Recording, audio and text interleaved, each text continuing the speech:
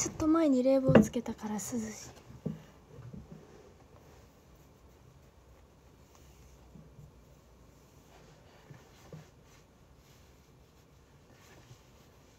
最近ようでくむわなんか楽やねんな。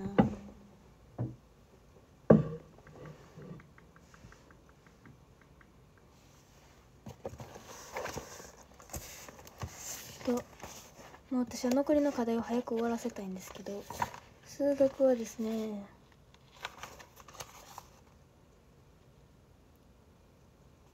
とりあえず180あれここからやってはりますがここいらないですね。84からまあいっかやろう。4から117なんか数学めっちゃだるいねんけどどうしよう。やるしかない。でもさっきタブレットの方片付けよう。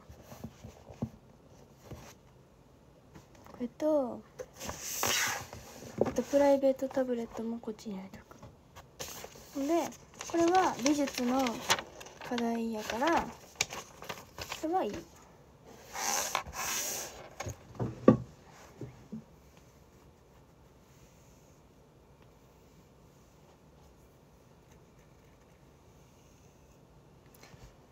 横浜？見たでポスト。でも私は信じなかった。ほんまに？完売やった。嬉しい。いや私さ反応苦手やねんこういう時の「わあすごい!」が苦手やからなんて言おうかなってずっと考えてて。でそもそもこれがほんまなんかなって思ったから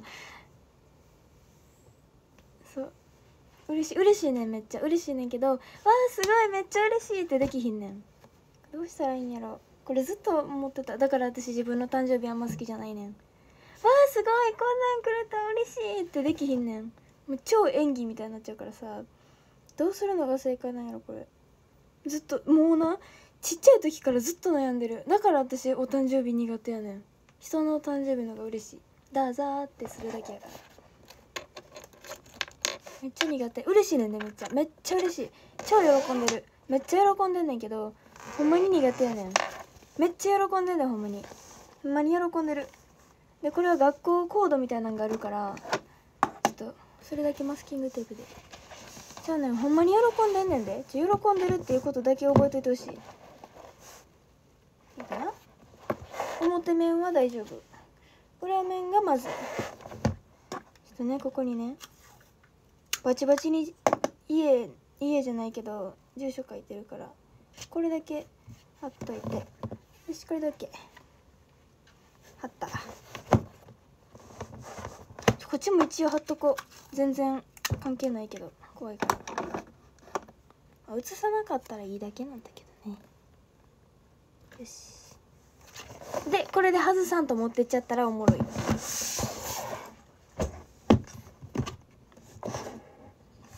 国語の課題。課題っていうかまあ授業中に終わらせるやつやってんけどなんか配信中にやった方がおもろいかなと思って持って帰ってきた。そういえばインターネットつながってんのかなこのタブレット。え電源つかないんですけど大丈夫ですか？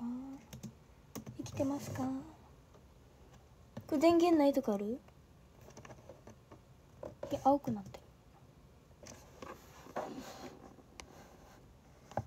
超英語や。 Good morning wonderful あら。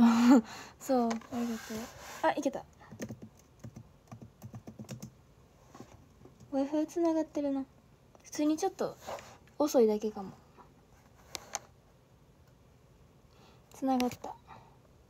お出かけしないよ。今日は一歩も外から出ない予定。もう課題を早く進める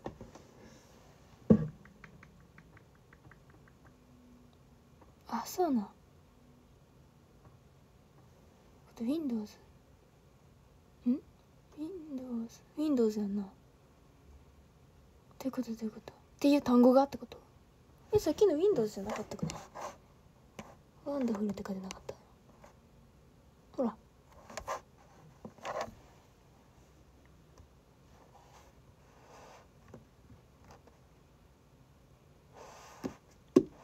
ちゃ髪の毛伸びたよな。読書感想画はちょっとな今日やるか悩んでる。書こうかなと思ったけどさっき数学終わらしとかな絶対だるいからさ。若干ここだけ巻いてん。なんかストレートすぎてダサかったから。でももうなんか全部巻くのは髪の毛傷むしそんな一回やっただけでは傷まんけど極力やりたくないねん。から全部は巻いてない。けどストレートすぎたから前だけ。めっちゃ伸びたよな。やばい懐かしい。腹終わったら血が出るだけさ。恥ずかしい。やめてこんなん調べんといて。スライドを作ります。古事成語国語のスピーチ。よし。古事成語スピーチします。私が選んだ古事成語は四面楚歌です。四面楚歌ってひらがなで打っとこ。う読まれへん人おるかもしれんから。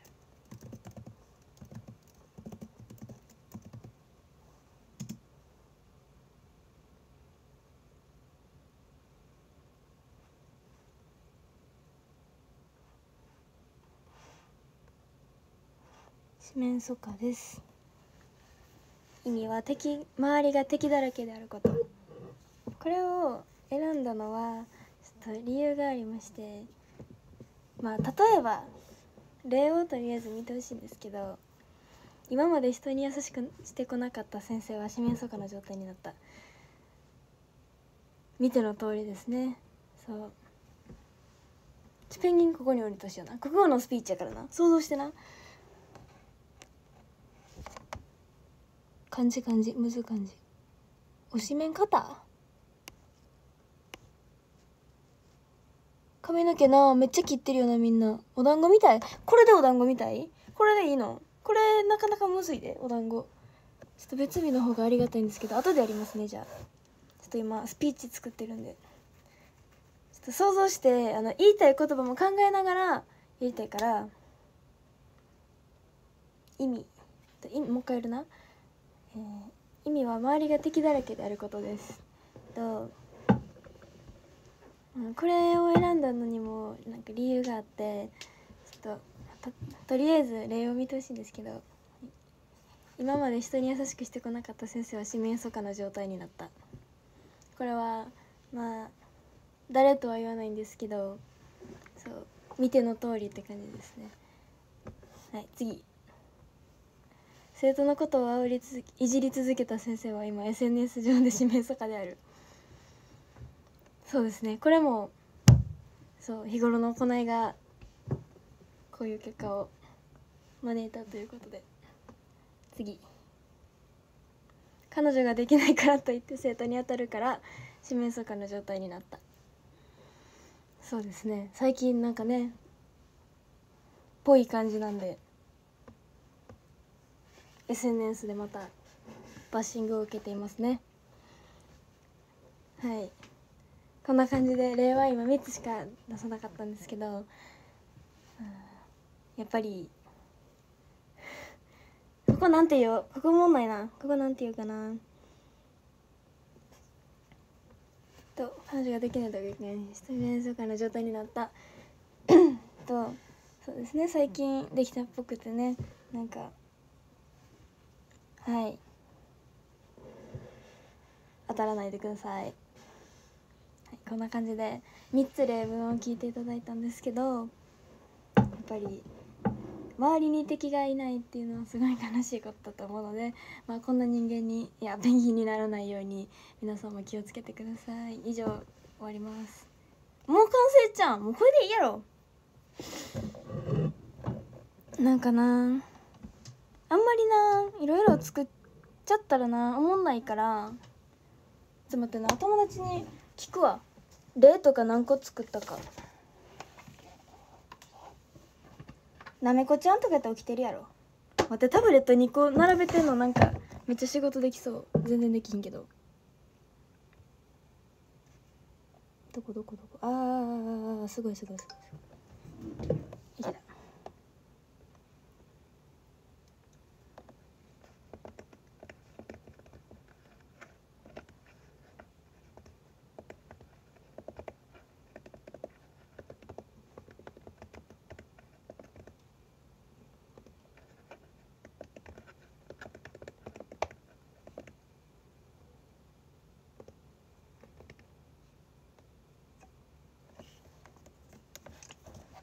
オッケーお団子ちょっと待って。待って。しかもこの前髪でお団子はなかなかな無理難題言ってるで。いいけど。低めな？高いのは無理よ。この前髪では。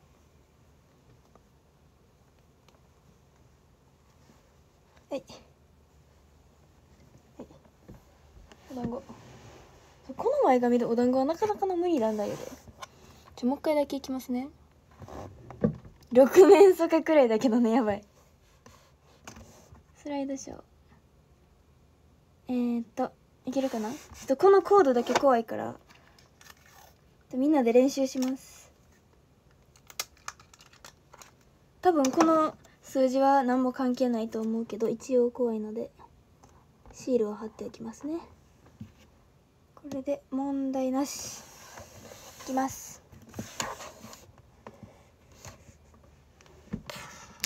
スライドショー。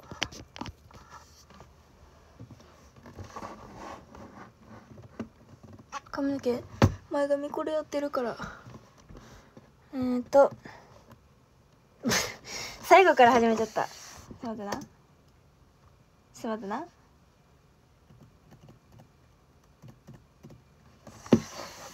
ご時世後。髪型斬新。ほら恥ずかしい。やめて。お団子してって言われたんやもん。斬新。めっちゃ伸びたよなやっぱり。ほら。と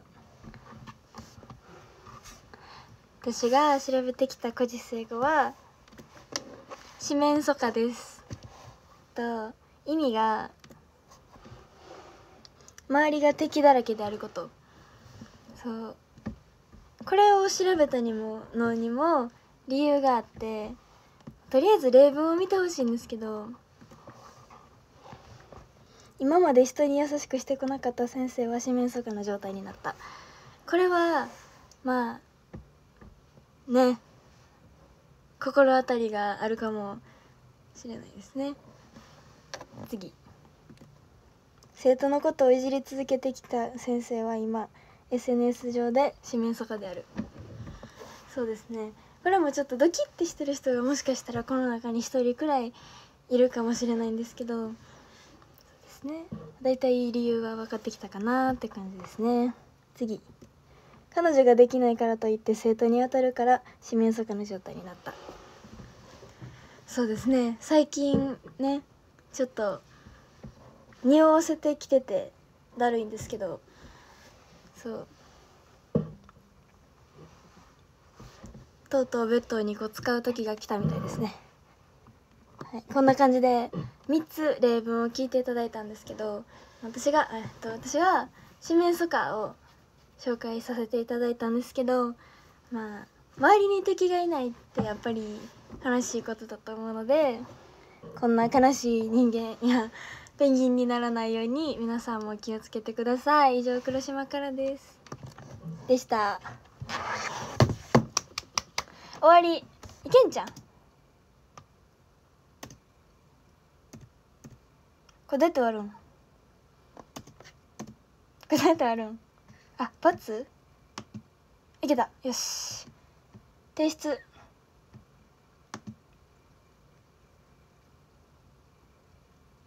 共有。違うな。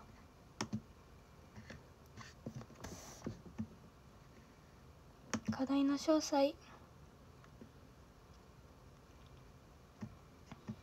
これか。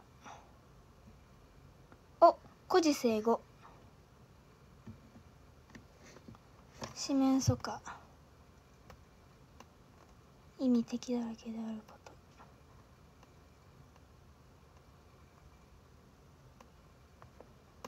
よしいけますね。提出します。提出します。よしオッケー。いけた。国語完成。シールを剥がして閉じてシールを剥がして。こっちもシールを剥がして。オッケー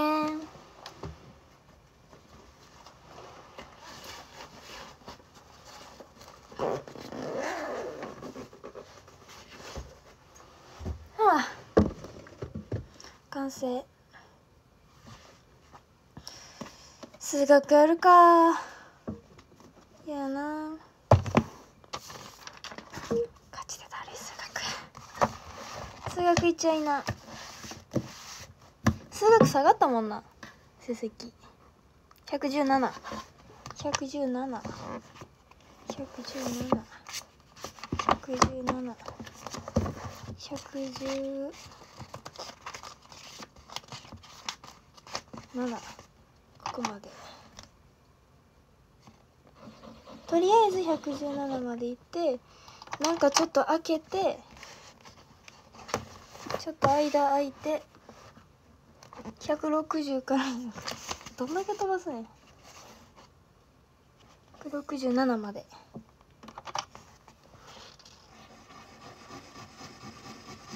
160から。160からね。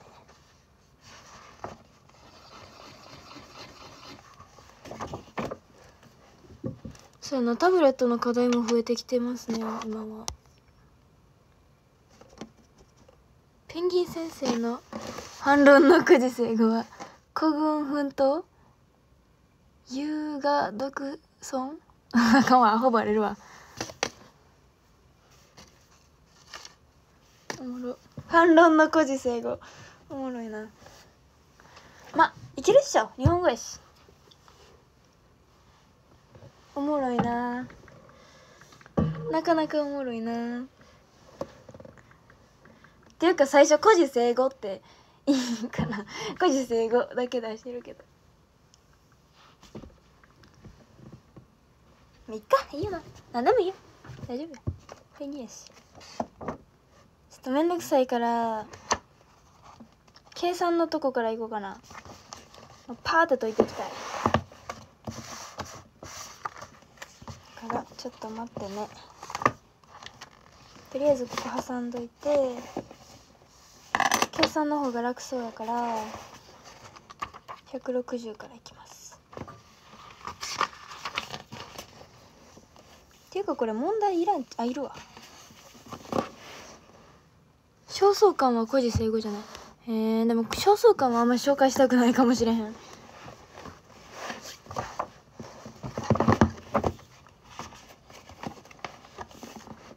別に私は焦燥感気に入ってるわけじゃないねんで。体力ないからそれしか言われへんだけ。今日は7月20二次方程式？ああそんなもん60や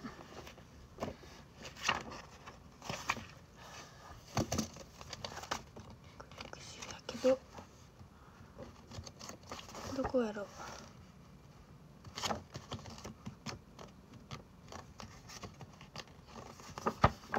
ここらへんかなこれやな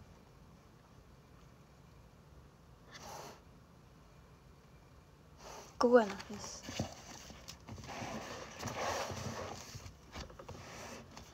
ああ嫌だな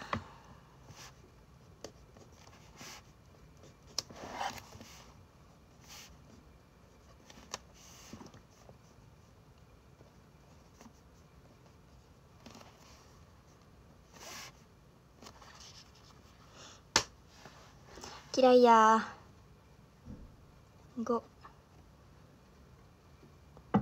なタトゥー。おもろ。ヘナタトゥー入れたん？ショーって？おもろ。お姉ちゃんヘナタトゥーでここにサソリ入れてたわ。消えてたけどね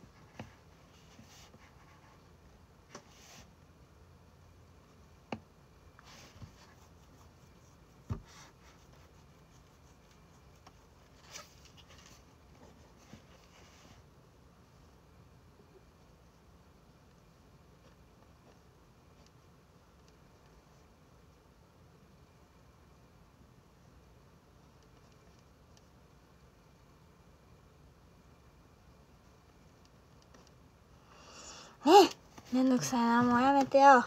めんどくさい計算せんといて。秒で出るやつにしてガ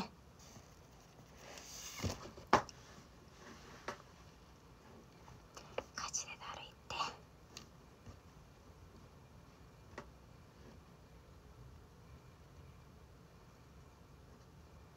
ん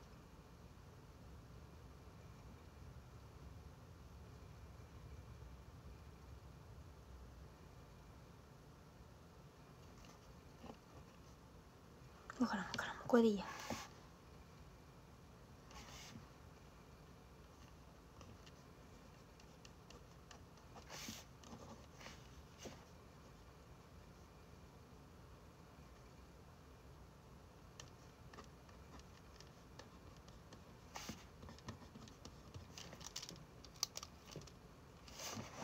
え？5と6追加になったらさ次何？追加はされへんってこと？むずくね？追加はされてないってこと？難しいよ。もう嫌や。嫌い。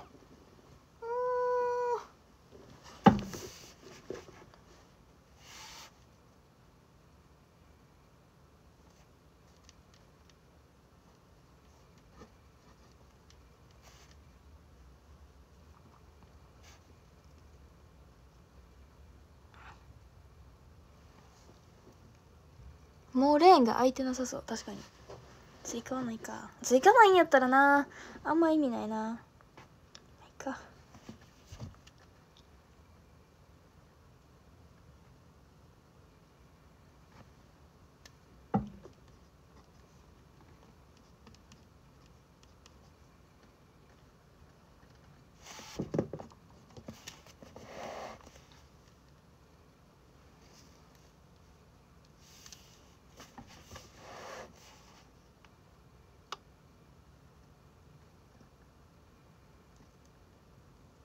うん今日はマクドナルドさんが？えー、すごい。そうなんや。53なんや。意外と若いな。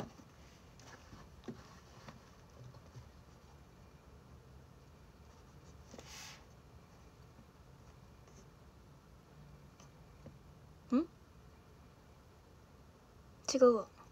こうか。あーだるいだるいだるいだるい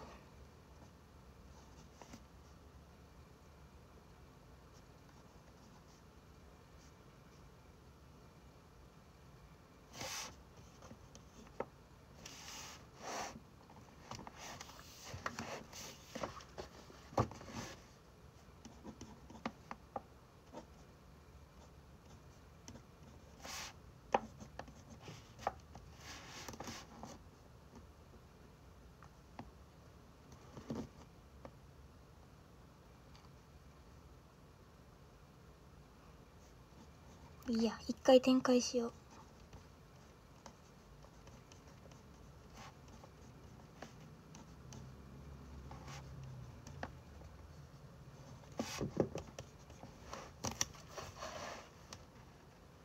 うん人類が初めて月に降り立った日なんかみんな氷山の日めっちゃやるやん。いやなんかさそういうアプリさ入れようと思ってんけどさもうあれが空き容量がなさすぎてやめた。いや一回ずつ調べたらいいかなと思って。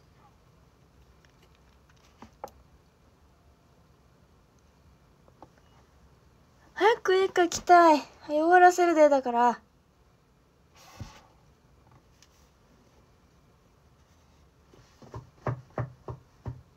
何これ？どういう問題？何をする問題？どこどこどこ？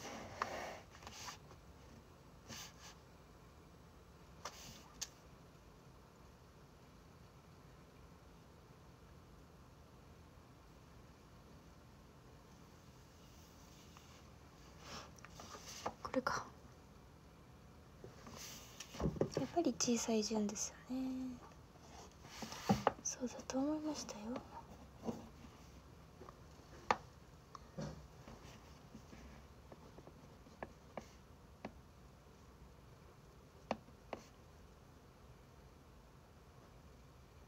最も小さいどういうこと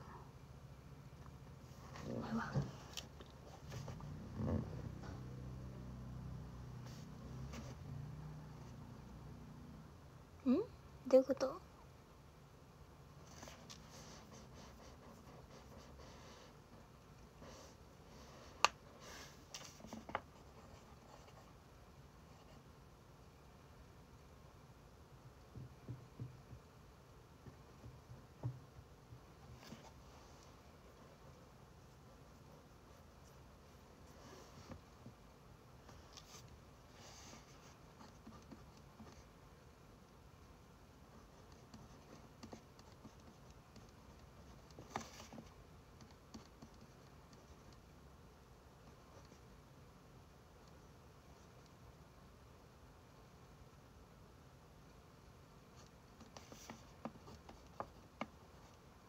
分からん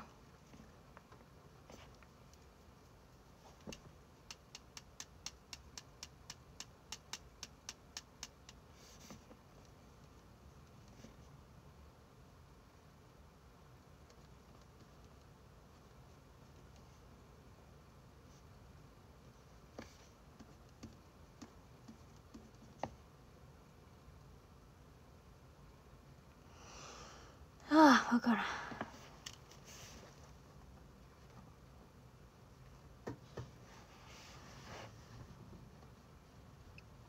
か最近の数学簡単なんでもなんかめんどくさくて分からんくなってきた。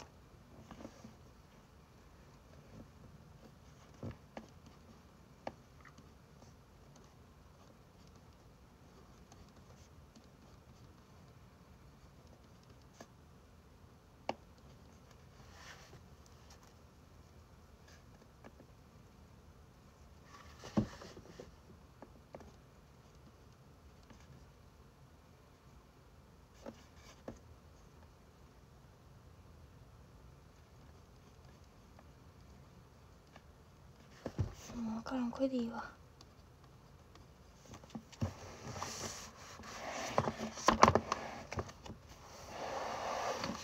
仕事戻るからエール？頑張れ。もう私に感情を求めないで今。私は今ちょっと感情ない。いあるけど。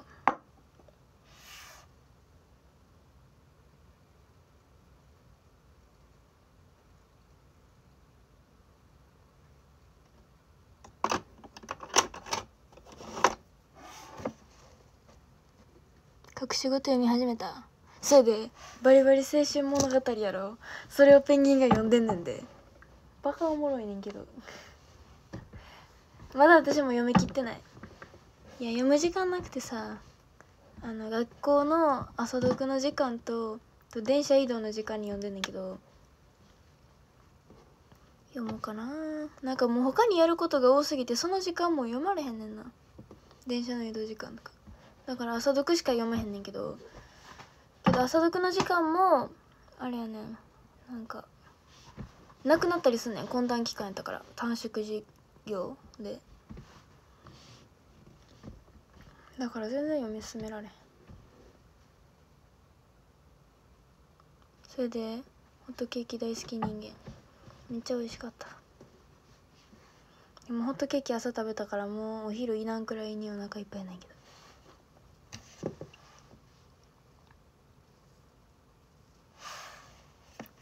これあれ？どこ？これか。これ見にくい。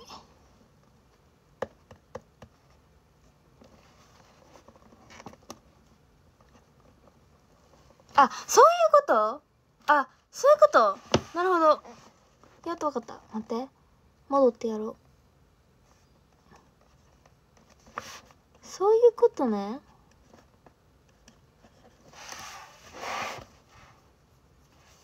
そういうことね。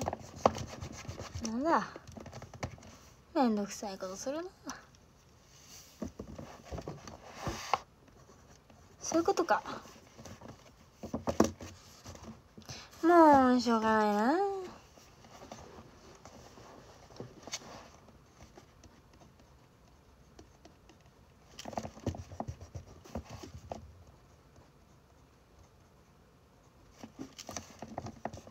でこうやって。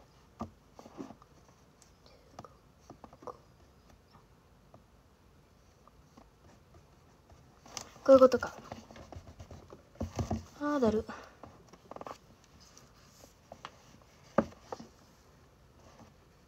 ユリイカ数学。ユリイカ何やったっけ？発見。発見を発見した方か。そう懐かしい。やっと思い出した思い出したちゃうわ。分かったもんなその時。ユリイカってなんで急にイカやねんって思ってた。お母さんとも言ってたもん。なんでこれ急にイカなんやろなと思って。発見した方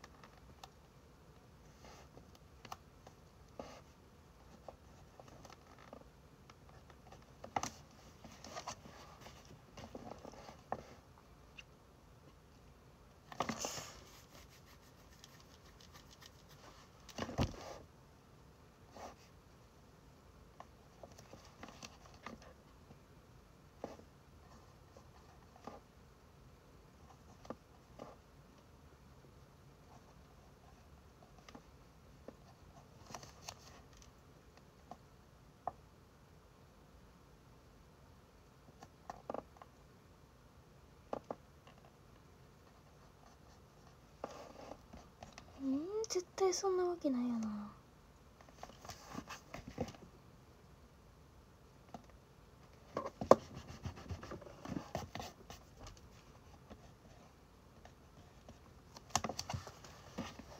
ボールペン変わってる。これやったで。いやここで勉強する時はこれやった。いつものお気に入りのやつは使ってない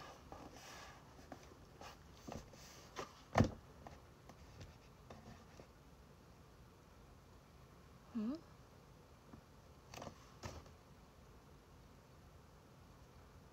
そういうことなんかおかしいなと思った。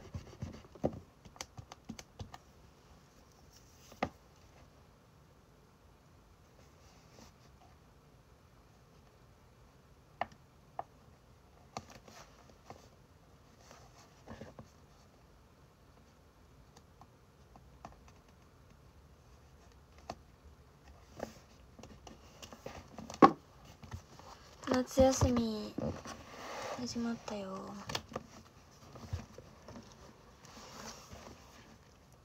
1500円の T シャツを割引でいただきの代金を消費税関係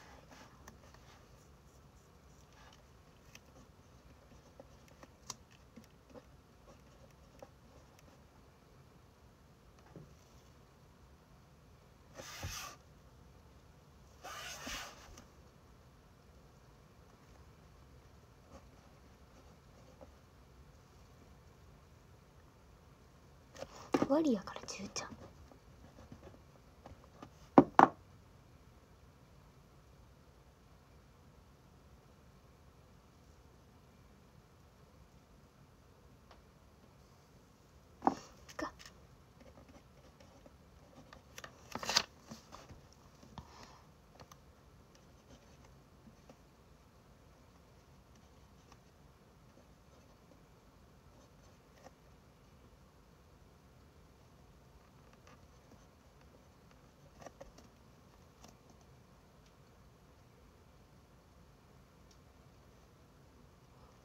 余った。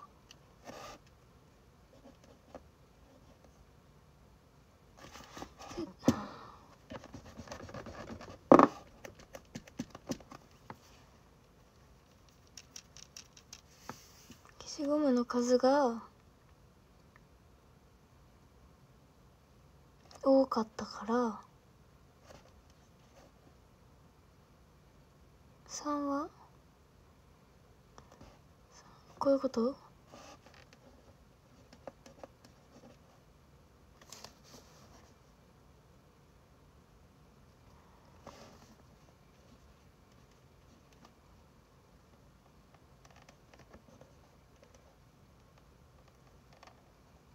？180未満であった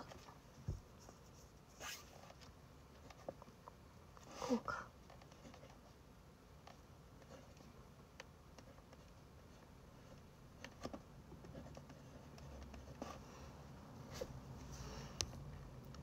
リコーダーリップ塗ってんねんな。保湿。しかもリコーダーどこやったっけ？直してもうたわ。どっか行った。ちょっとこっち痛いな。う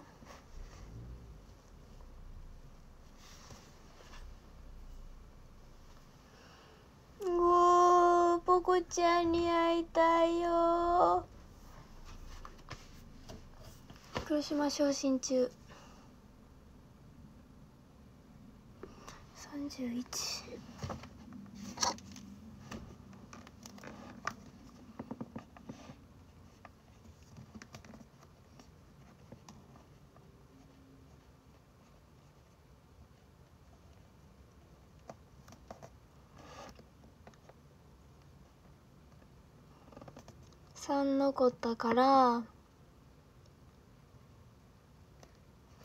A の方がでかいんやろ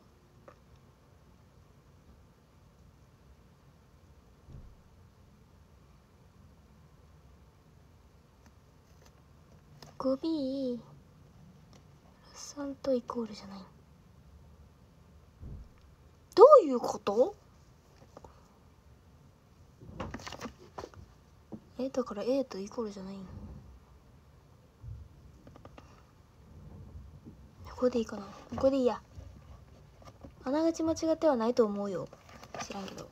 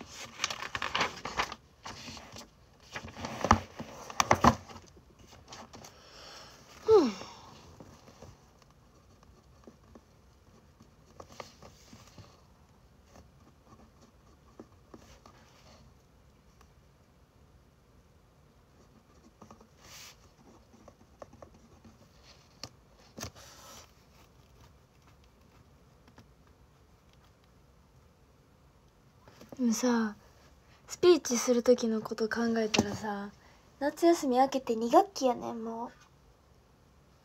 スピーチするの。でもさその時にさもうペンギンさ別れてたらさなんかあれじゃない？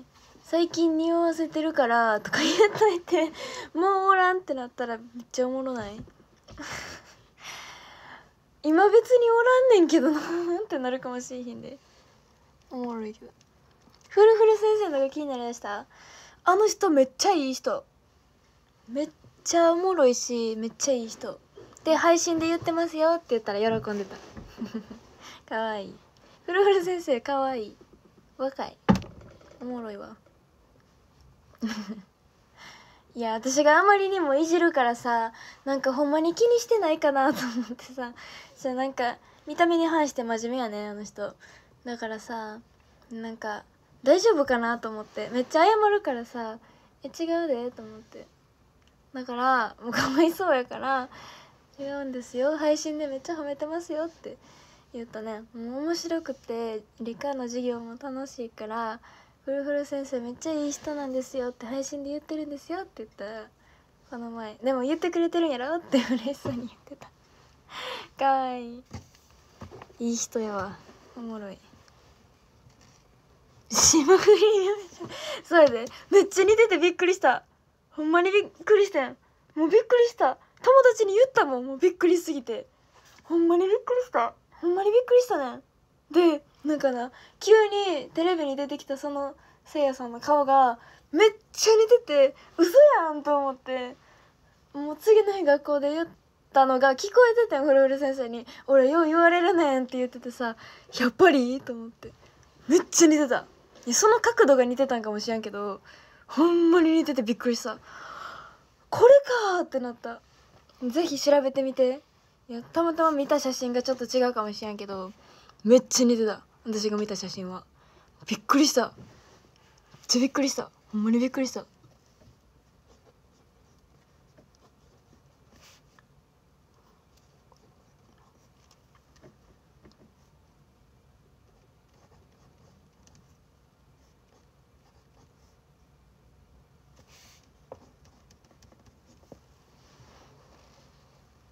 担当教科？あ教科わからんくなる。背格好？わからん。せいやさんがどれくらいなんかが知らんからなんとも言われへんけど。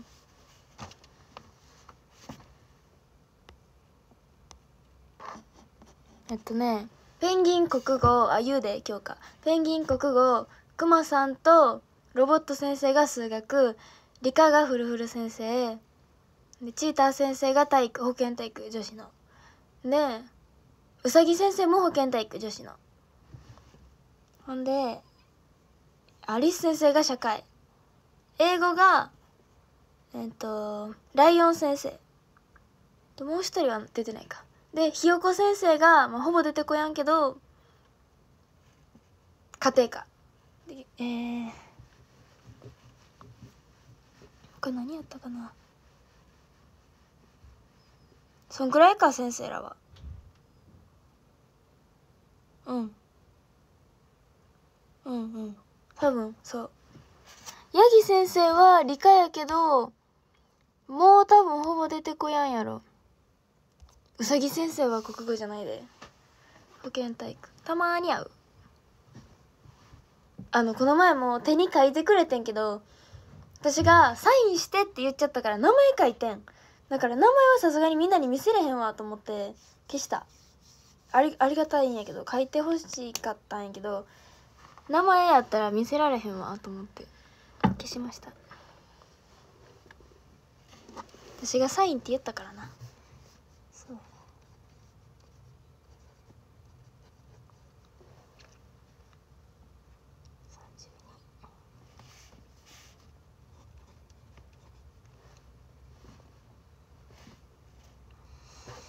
Hmm.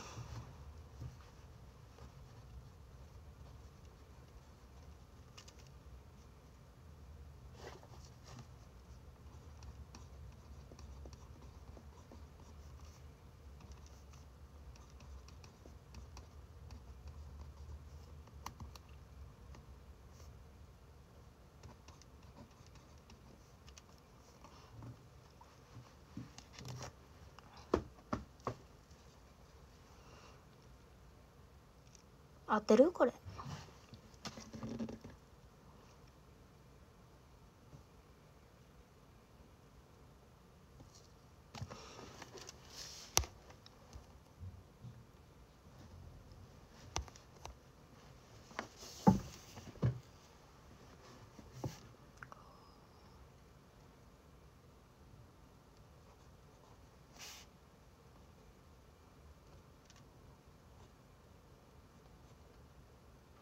合ってる？これ。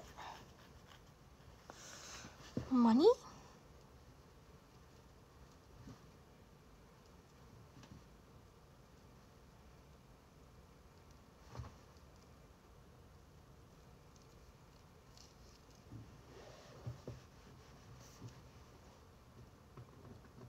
もう一回やろう。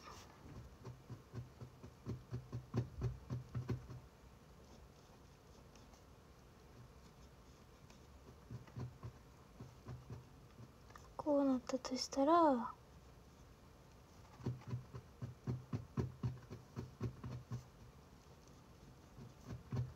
これじゃない？多分。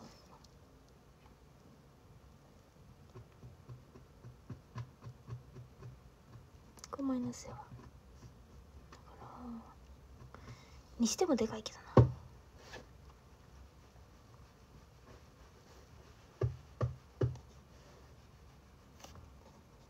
あこれ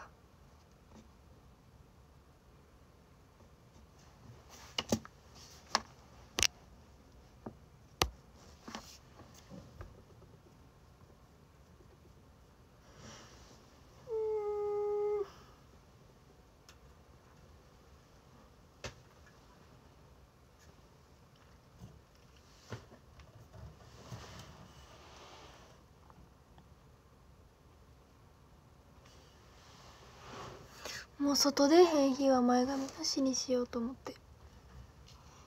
なんか邪魔やし崩れるし。ポンポンすんの嫌やから。じゃあ髪の毛伸びたやろ。下ろしたら分かりやすいよな。でもこの髪型やったら学校でも行けそうじゃない？体育ない日。ペンギン先生はひと夏の恋なのかな？おもろい。ひと夏の恋おもろいな。サングラス？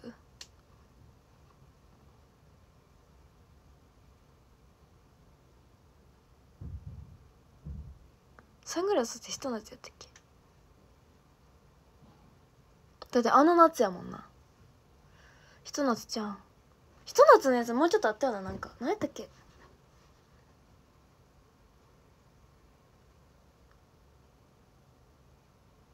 うわ出てこうへんわ。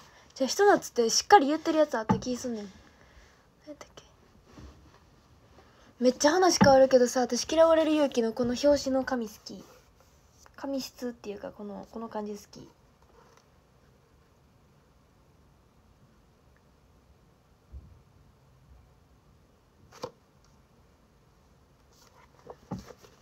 急に思い立った。いやこの質感好きやなって。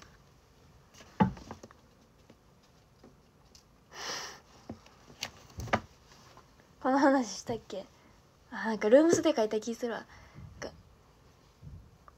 席温け温めときましたよってしめじちゃんが言ってその椅子に座ってって言った時に別に今人肌恋しくないからって言うから「まあそうですよね。満たされてますもんね」って言ったらなんか何やったっけ？もう記憶ないわ。なんか「そうですね。満たされてますもんね今」って言ったらなんかなんて言ってたんやったっけペンギン。こうやってたよな。おもろかった。やろいい返しやろいやーだって満たされてるもんね。だからいらないんですよね。ほんま。そういうとこやぞ恋しいって言っといたらよかったのに。それはそれでネタにされるけどな。あでも「うん」って言ったんや。あそうやそうや。思い出した。が「満たされてますもんね」って言ったらあの近くにおったなめこちゃんが「そっか彼女おるんか」っていじってん。から「うん」って言っちゃって間違えてペンギンが。間違えたんかわざとなんか知らんけど。多分わざとやと思うけど。で「うなずいたうなずいた」みたいなの言っててみんなが。私見てなかったけどな。だからそう。いじってたからなんか焦ったんか本気でそこまでが予想通りなんか知らんけどペンギンがなんかだって「うん」って言った方がネタになるやろって。んなネタいらんねん。うんって。待ってました？ヒートのやつがああそれか確かに。2番か。それもあるけどそれじゃなかった。何やったっけな。なんかあった。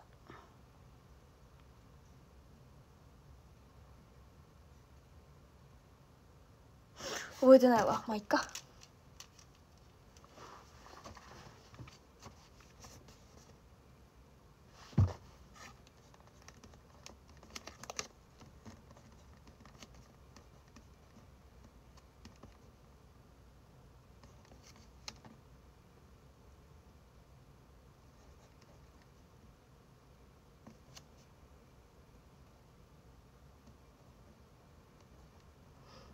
絶対違うって。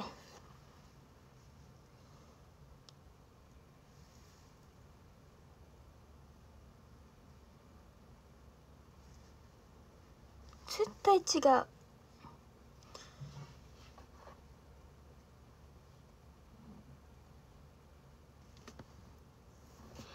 うん。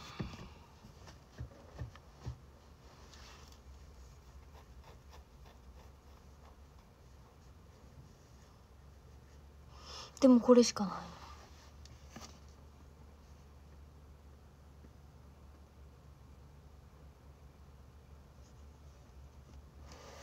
まあいいや。なあやっぱり口痛い。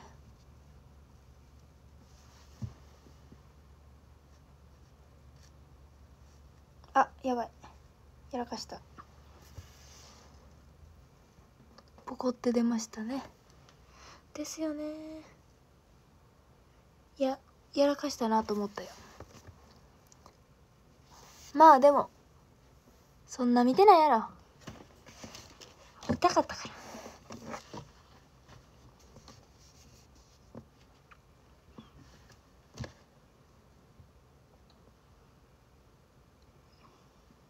分かった。これ合わせるタイプかな？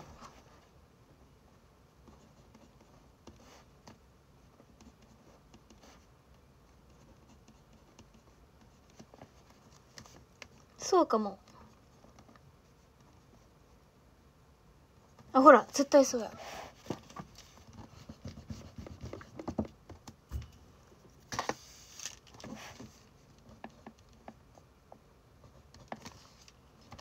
じゃあこれも？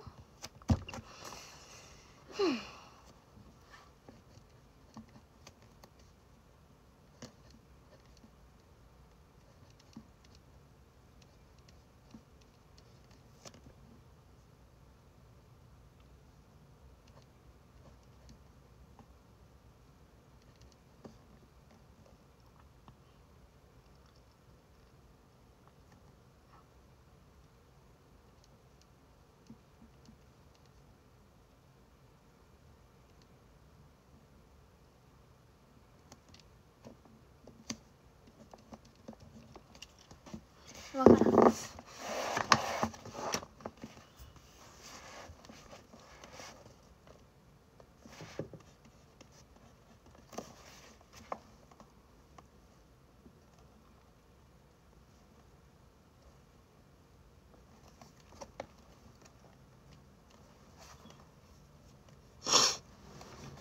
ん色がちいいね。色がちいよね。そうだよねあー疲れたよね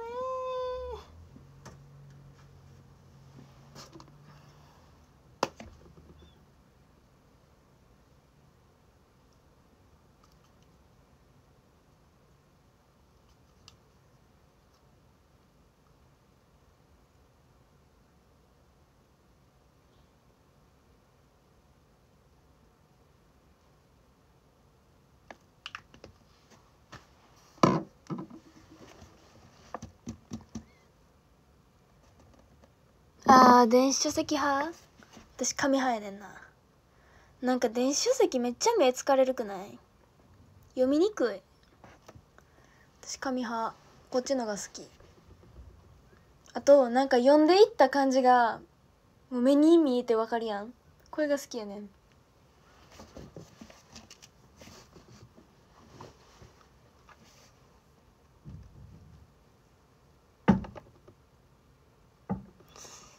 うん。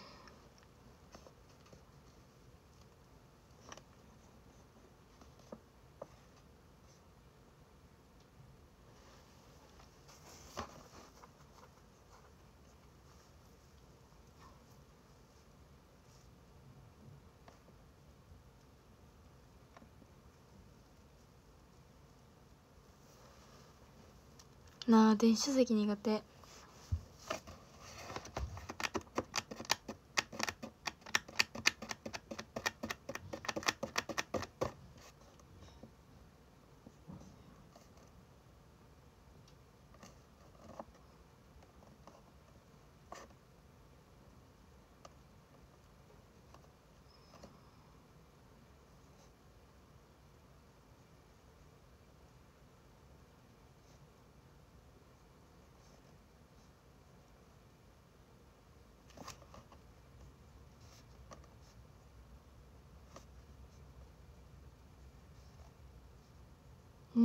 これ合う？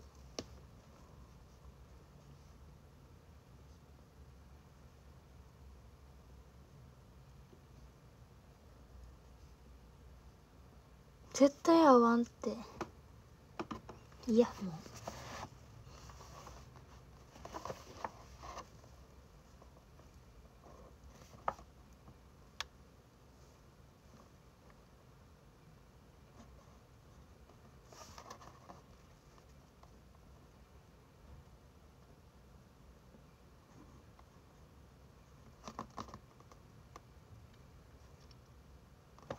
X についてといたらいいんじゃんだからマイナス2分の1ああ確かに。でもこいつ2乗やで。もう帰ろう。手からしよう。マイナスがだるいねんな。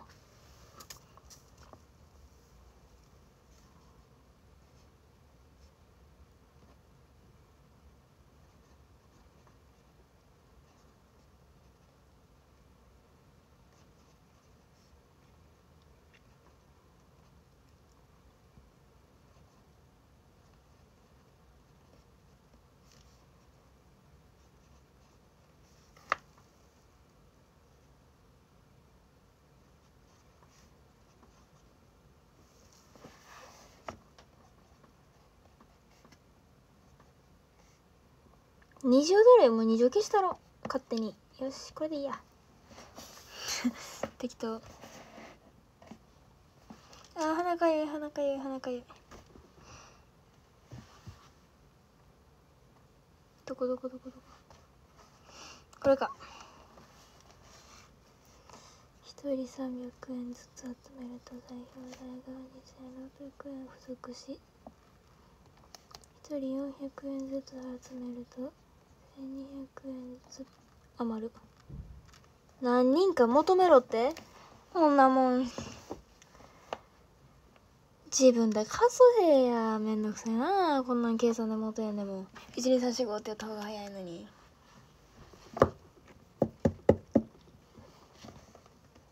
200x マイナス。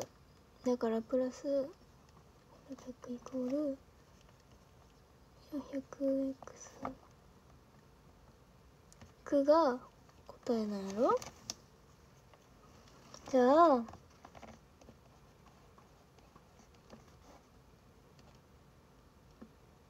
イナス。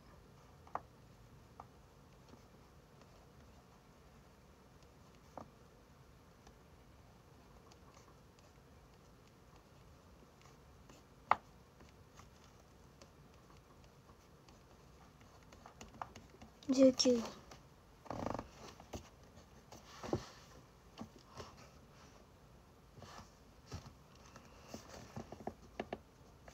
位家から駅まで。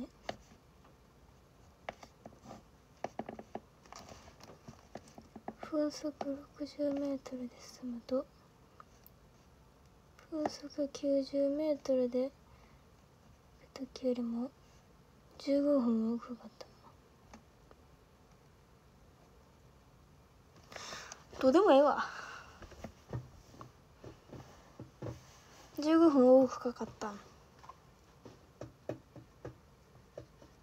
知らんがなそんなもんどうでもええわ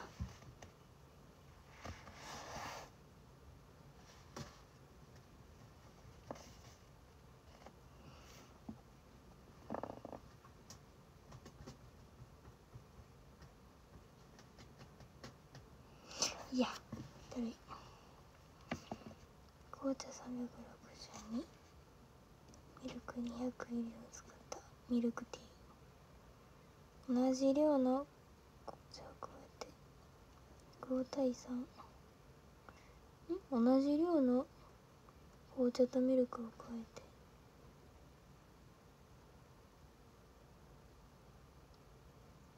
て。ん？どういうこと何と何が同じ？このミルクティーに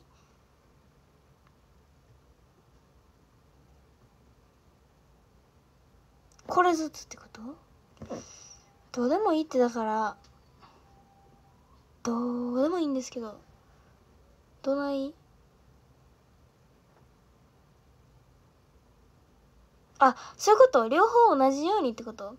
なるほどね。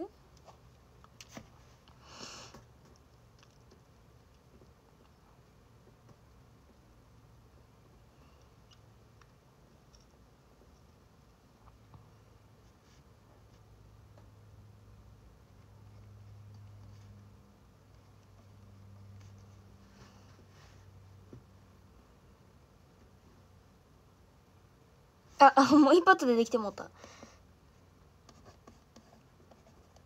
噛んでいったら当たった。しゃ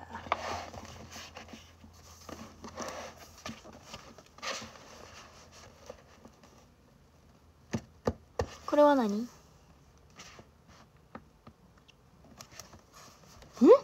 なんか全然違う。これじゃない。こっちか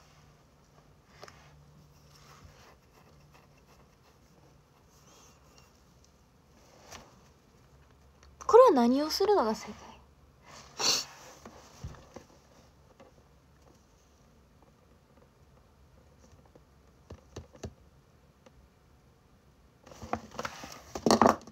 どういうこと？大丈夫や落ち着け。考えたらわかる。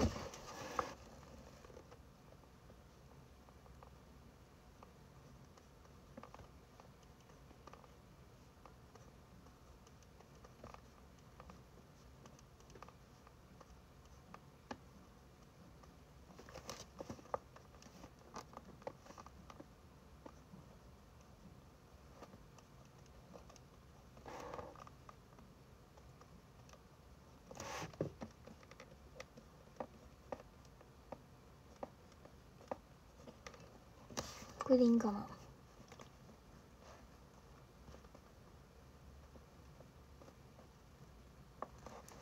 わからないよ。そんなこと聞かれてもわからない。何もわからない。もういいよ。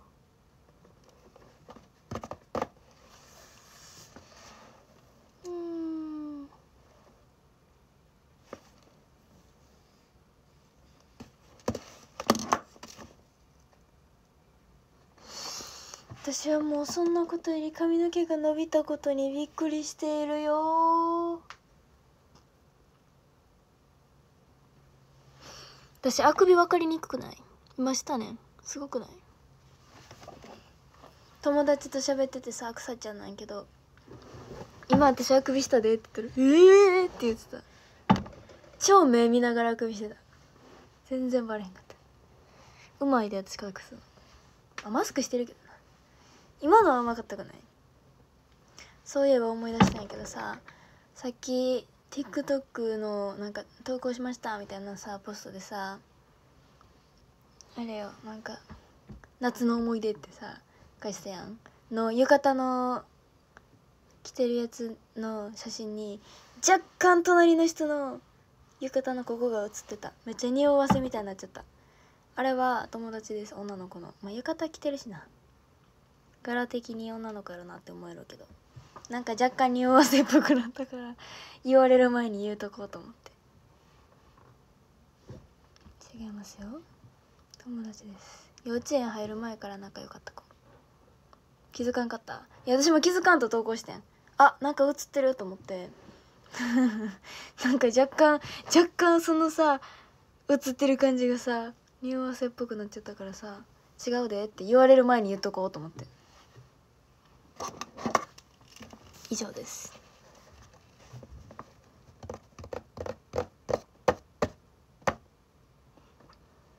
普通に弾けばいいんかなこれは。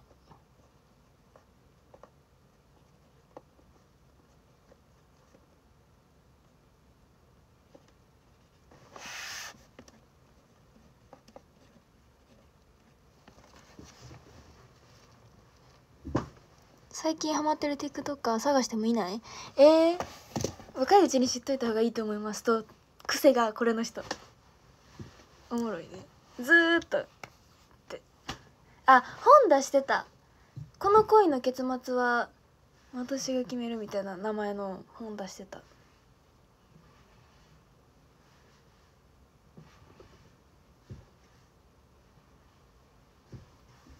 猫飼ってる。片方前髪隠れてる。たまにウルフっぽい髪の毛の時もある。若いうちにしといた方がいいと思うこと以外も喋ってる。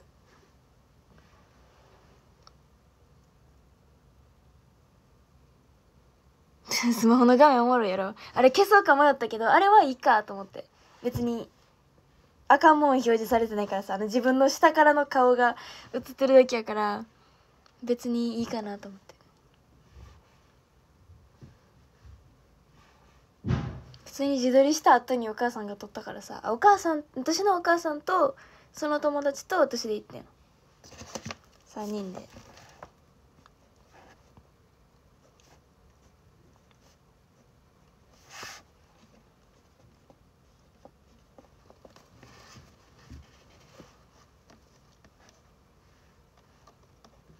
チアは買ってないと思う。別にその子詳しくないから。その子とか言っちゃった。その人詳しくないから。あんま知らんけど。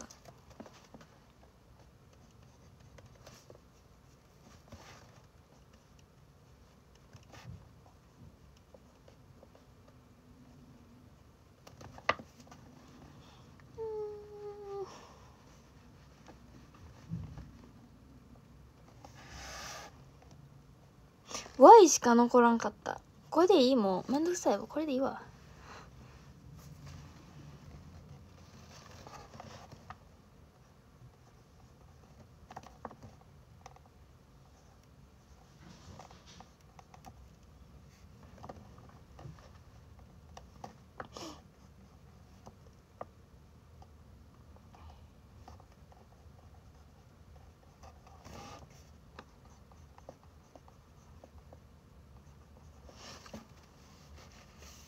った？やろほんまに片目しか見えてないやろ。たまに加工でこっちのメモついてる時あるけど。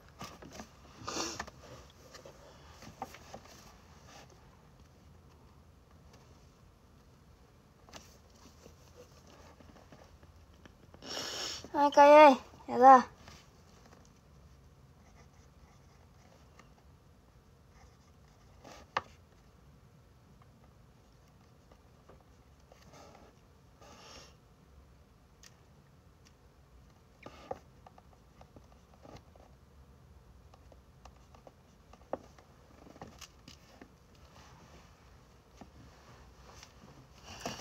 癖っておもろいよな話す時の。ペンギンはって喋ってる。おもろいよな。癖でなんかって切っちゃうねん。おもろい。あと何癖やったっけ？あーペットボトルでなんかとか遊んじゃう。すぐ。癖か。すぐ何？っていう。だるいも言う。多分豆腐切ってる。そう豆腐切ってんねんずっと。おもろいな。あと何言う？ああ話し始めに「えっ?」ていう先。一言「えから始まる「え別にそうじゃないけど「えこれこうやけど」って。でリス先生は「えー、っと」か「えー」っていう「えー、これはですね何々何々で、えー、今回は何々でえー」ってすぐ言う。でたまに「えー、っと」になんねんくまさんはとりあえず多動めっちゃ動く。ずっと。なるな。クマさんの癖か。なんかあったっけ？とりあえず多動もうずっと動いてる。となんやろな。あえ点の方。え？とかえ？とかじゃなくてえ？ってあの無感情な方の点の方のえ。え。フルフル先生はえー、どうやろな。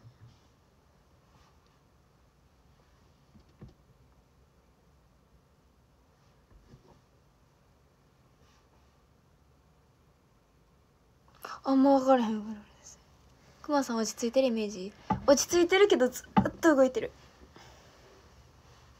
あー癖。あれや。机の上とかめっちゃ綺麗に並べがち。あのタオルはここにピチッて置いて鉛筆ここにピチッて置いて。シャーペンボールペンか。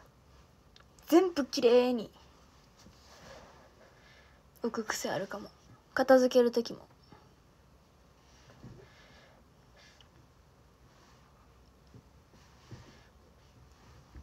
ペンギンが一番わかりやすいよな。これめっちゃ癖やもんな。これめっちゃ癖やもんな。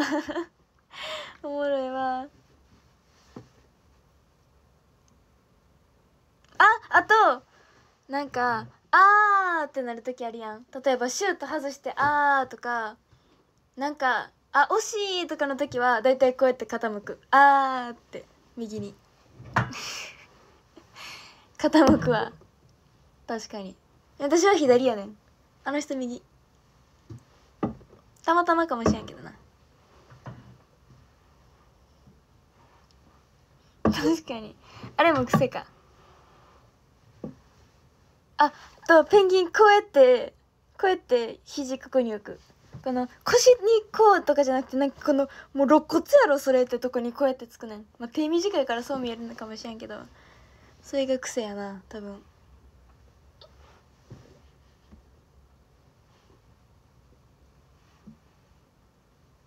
そうやな。ペンギン？彼女と話す時彼女と話す時はこれはないと思うけどな国語の授業で何か説明する時になったらこうなんねん。分からんけど。普通に話す時はもうなんかただ普通に座ってる。何も動かん。こんな感じ。たまに見るけど「何?」って「あ何?」の時は「何?」って若干後ろに下がる。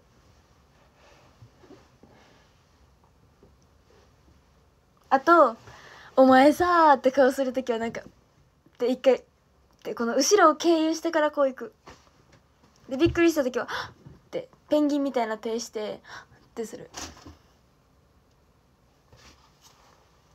どうなんやろなこんなもんかんなもんやな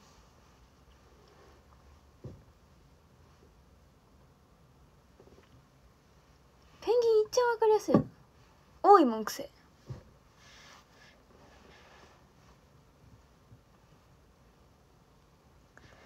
クマさんはななんか癖っていう癖がないねんな。言葉のレパートリーも多いから口癖とかも特にないし聞くたび違う言い方してる。そうよな。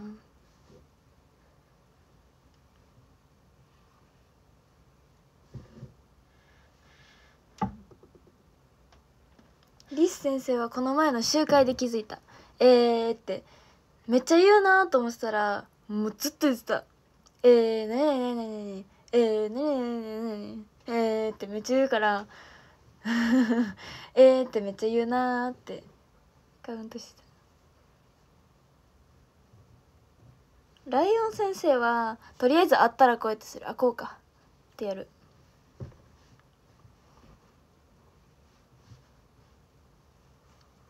あれは癖かな？分からん。狙ってそうあの人やったら。うん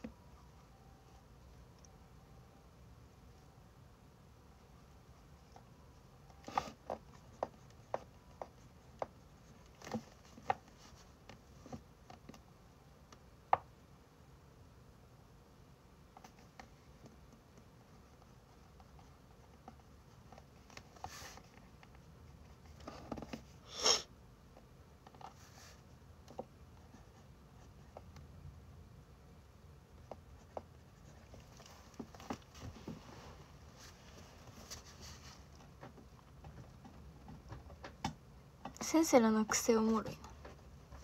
先生らっていうかほぼペンギンやけど。でも多分あんまりペンギンとかさ癖見抜かれんの好きじゃないで。怖いっていう。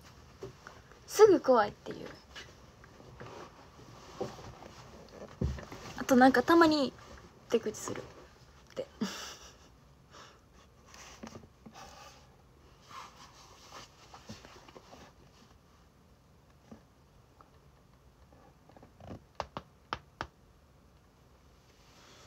とツッコミ待ちとか反応待ちの時はってする。若干ああ今待ってんなって。顔するなあとなんやな。顔の癖はようあるよ。顔の癖って言ったらなんか変な顔みたい。違うで。表情の癖。こういう時にこういう顔するみたいな。だから今こういう顔してるからこういう感情なのかもしくはこういう感情に見せたいのかっていうのはわかるかな？あひらめちじゃないよ。でも口角上がってる。考える時？こうやってやる？えでも恥ずかしかったらこうやってやっちゃう。なんか分からんけど。間違えた時に私はーってもう一回言う。仕切り直し。とかこうとかもやる。あとバウンドしちゃう。なんか一回ずつ。私は今回は何々の MC を初めてしたんですけどみたいな。一回ずつ下がってやっちゃう。なんかそうやったらうんうんって聞きたくなるかなと思ってわざとやってる。だってそっちの方がなんか聞きやすくない？私はなんですけどどうですか？って。やろ沈むやろ淡々と話されるよりそっちの方がなんか愛着湧くかなと思って。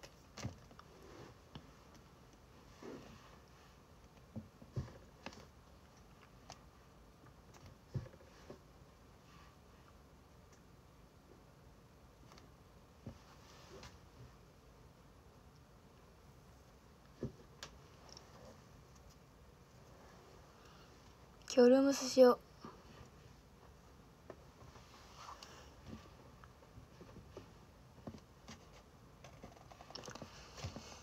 う。はあ。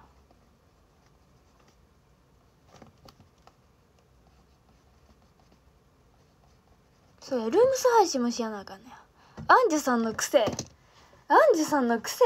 むずくね？最近あんま見てないなそういえば。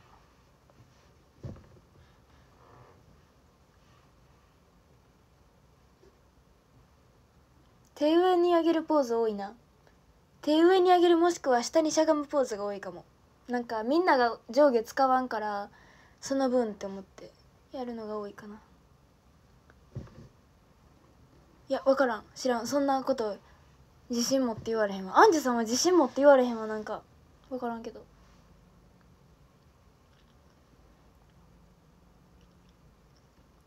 気まずい時は笑ってごまかしてるな。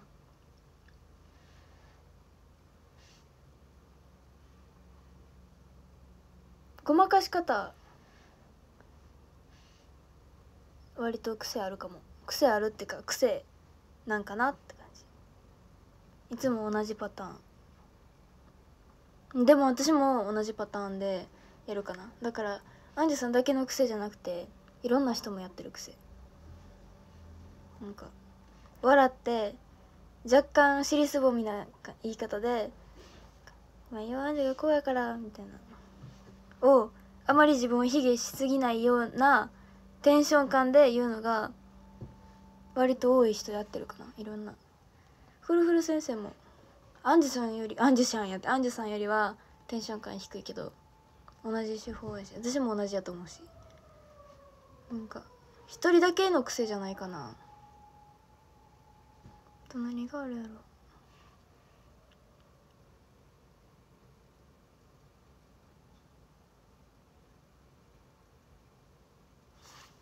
立ち方。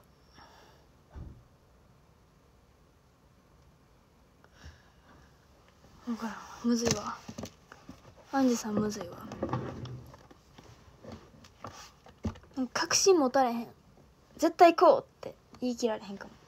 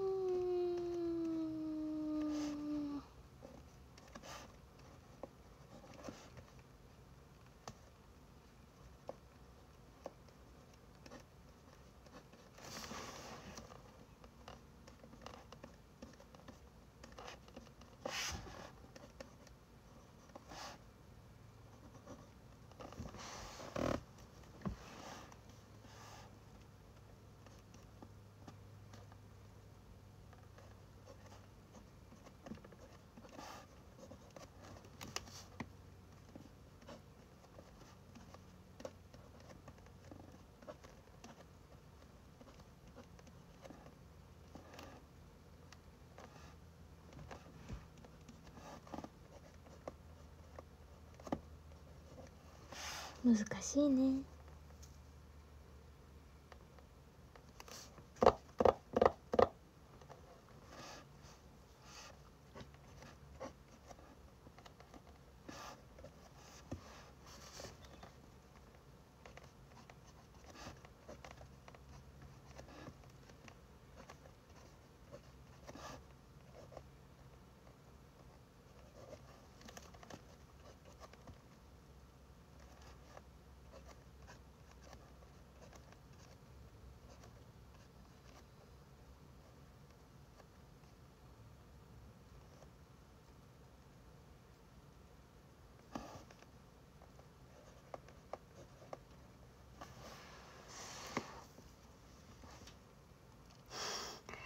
パック入りジュースの飲み方。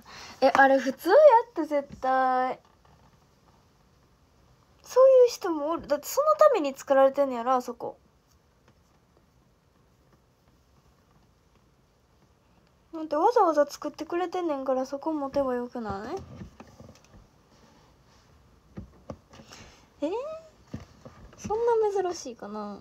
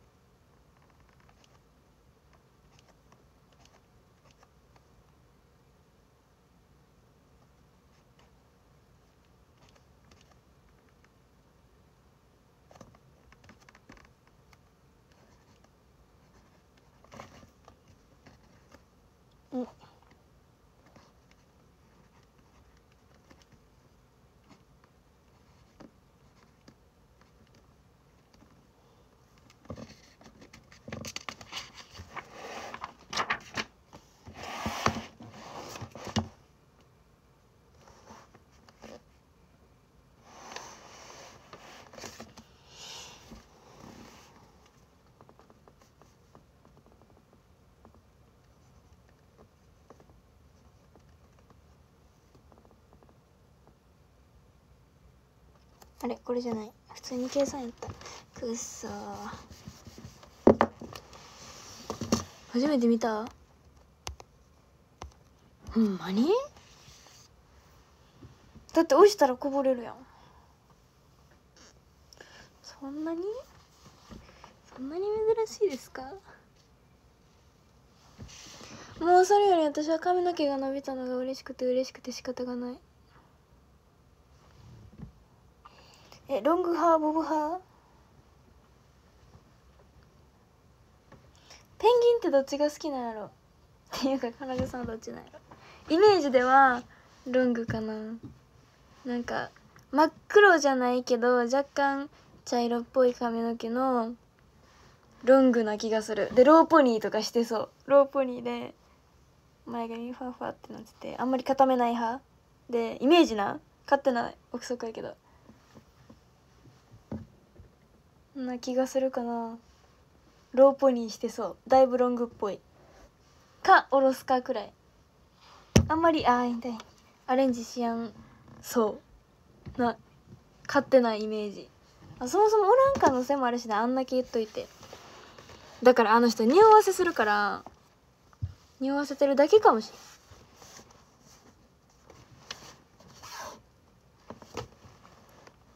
ほんまに何考えてるか分からん。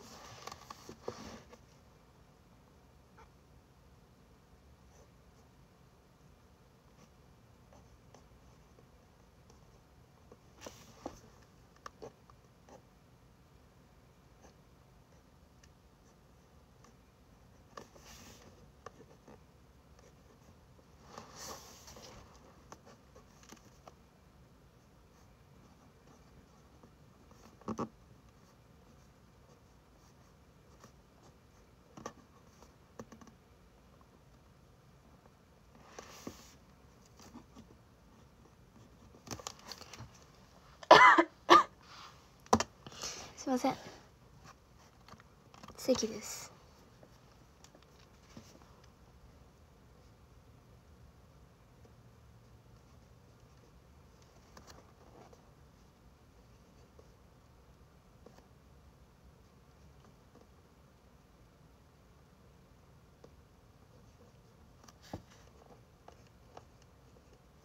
違う。間違えた。どう？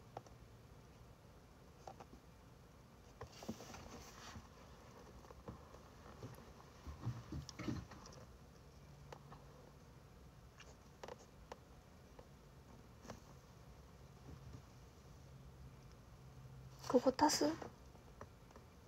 かけるやんな。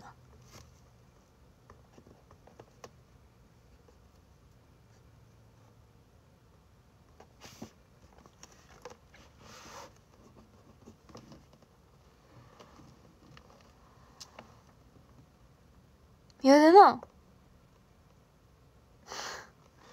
孫が飲んでる。ほう。やっぱり書いてるって。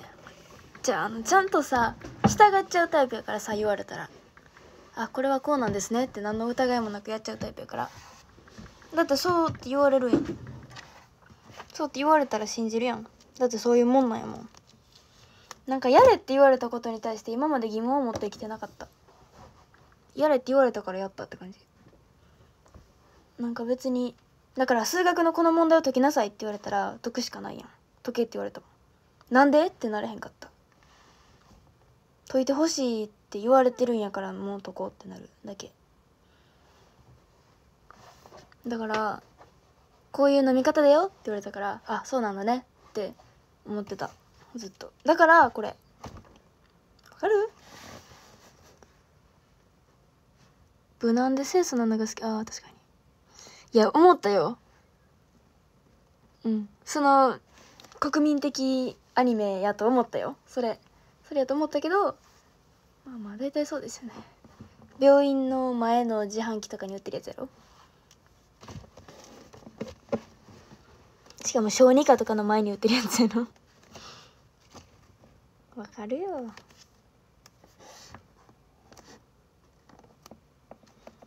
一回もうここに移そう。わからんわもう。めんどくさかったから。A イコール2分の 1b イコール3の時。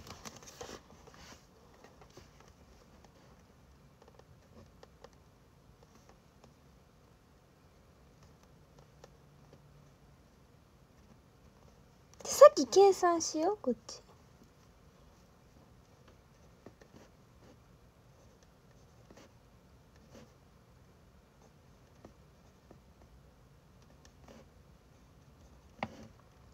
で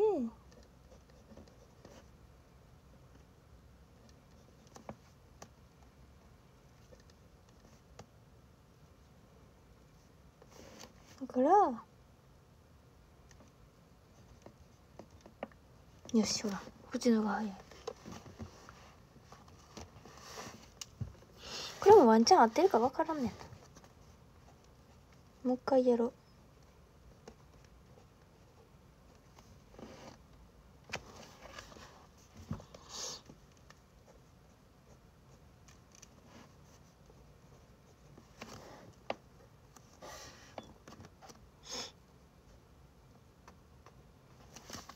ほらね。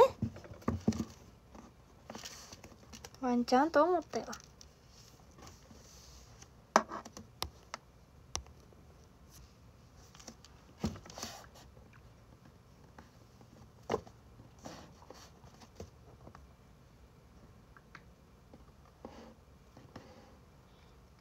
について。OK。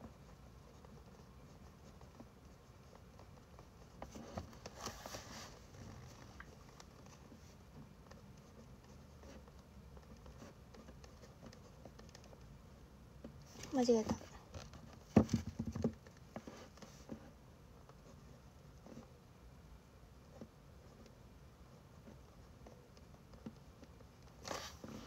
れで合ってんのかな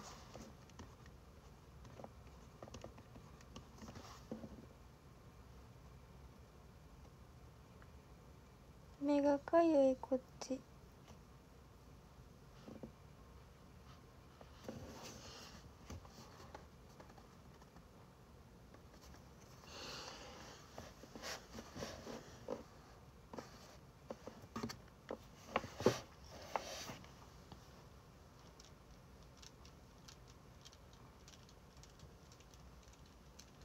今手何してるかわかる？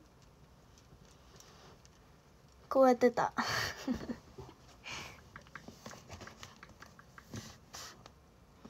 B についてときなさい。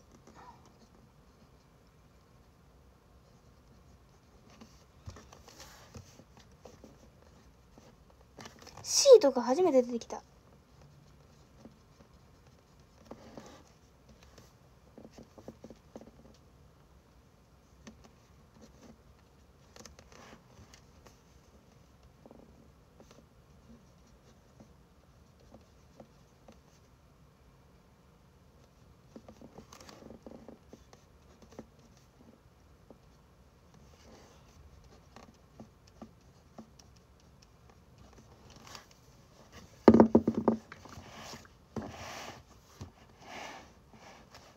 割れん率や。ち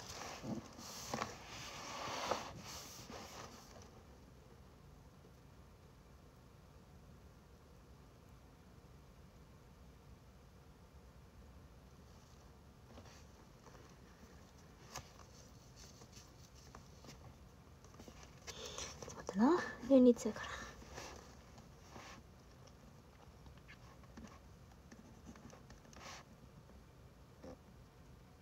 えっと足してるから。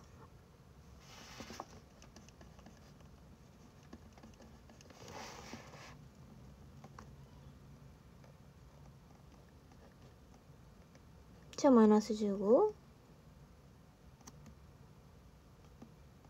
まあいっか。これでいいや。何でもいいよ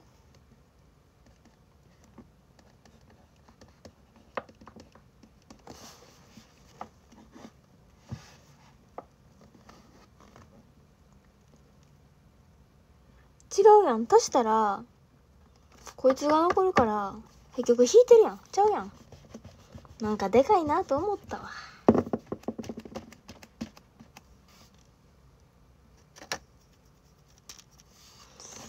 引いてるから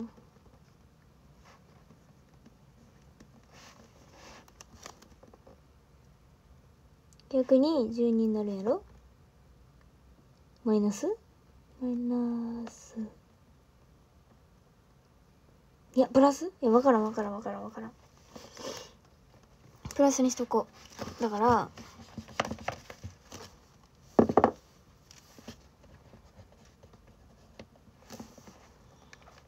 4やからマイナス5やろ？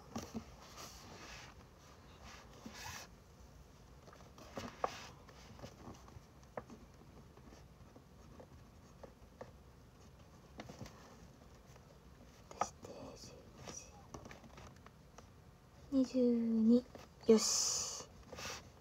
X イコール2とかになったらなんかちょっと自信持てるよな。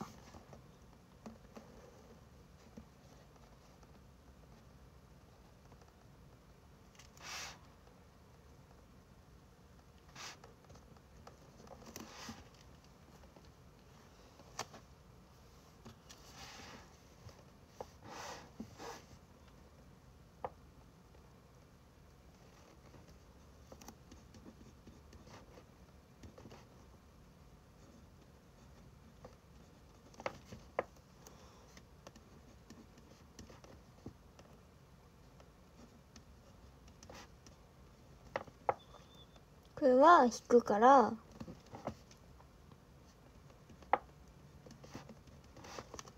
引くから引くよね。引くから足すんや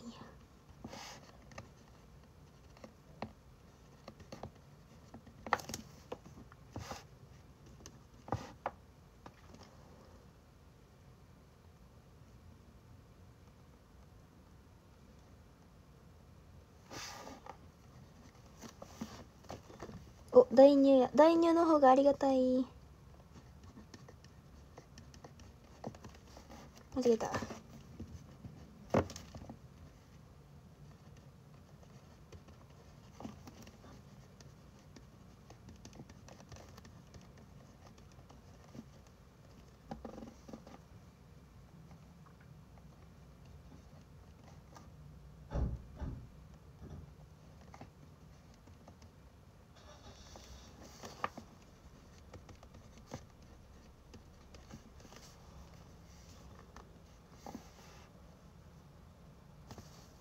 二八九う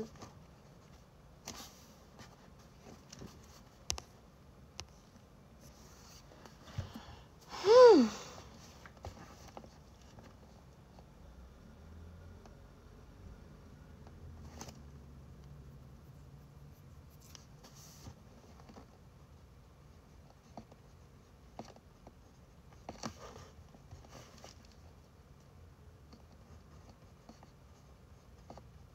間違えた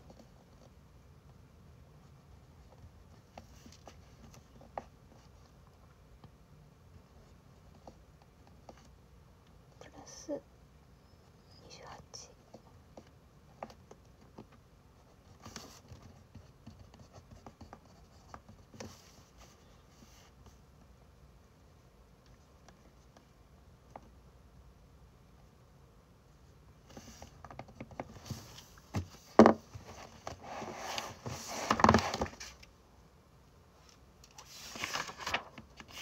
あともうちょっと。まあこれが終わってもまだあるんだけどね。ほんまにさ。ええってもう。数学だるい。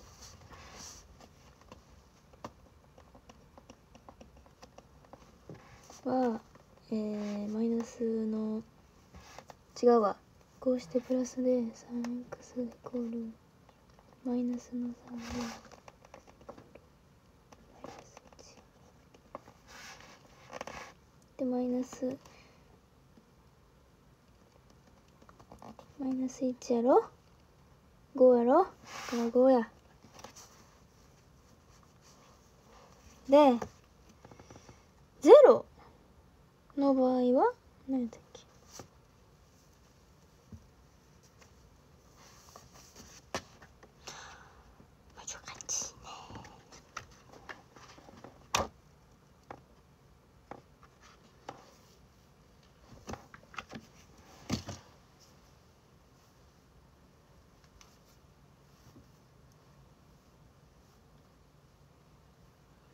伸びたくない？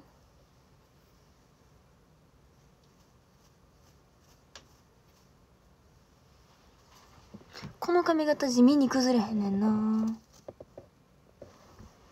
真ん中ギザギザに分けてここくるんくるんくるんってやってここみピンでなこう刺すねん。むずいな。けどこれめっちゃ簡単やしあの説明がむずいだけで簡単やし崩れにくい。意外と崩れへんねんこれ。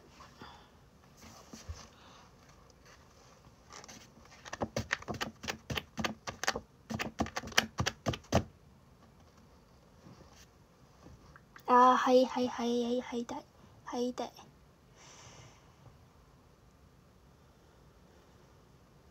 治った。なんかたまにはいピキってなれへん？突っ張ったみたいな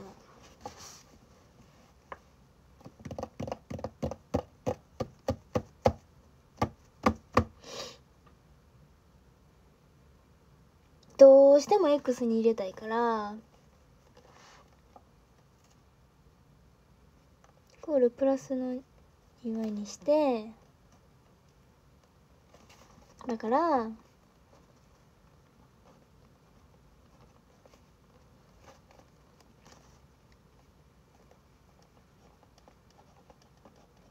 にして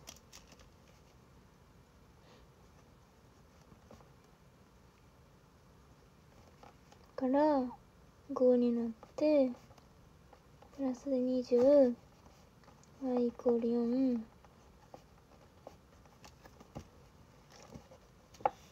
8だから 8?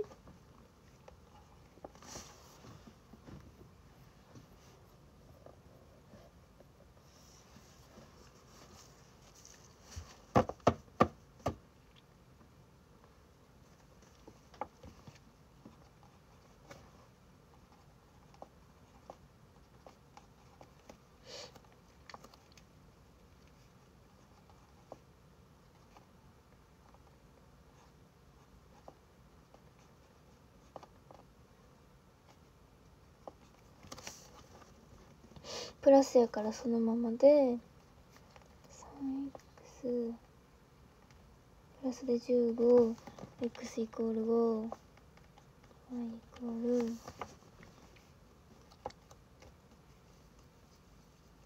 5やろ？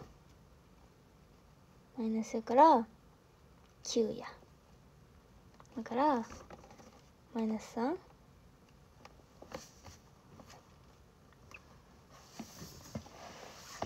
ほんでとだるいな。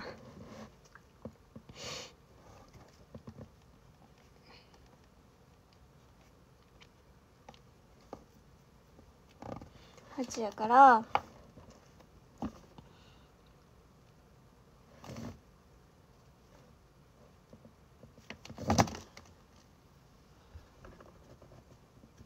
これは合ってるん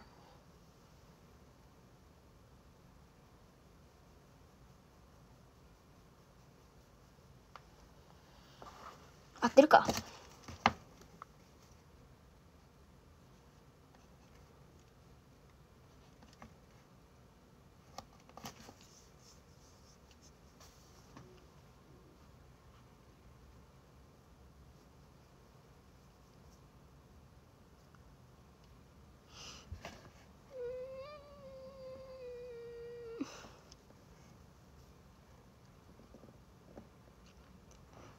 やだ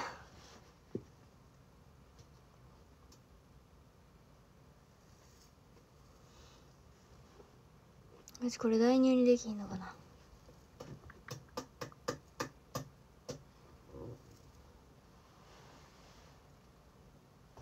全部8消えるとかないかな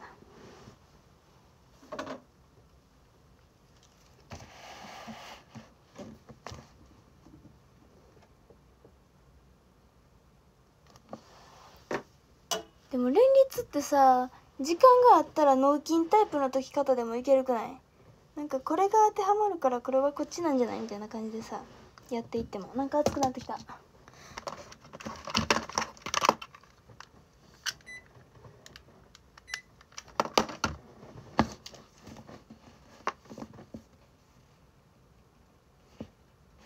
まあ後でいいや。9にすればいいんやろいやでもな。逆にこれに2をかけてしまえばそれにしよう。だから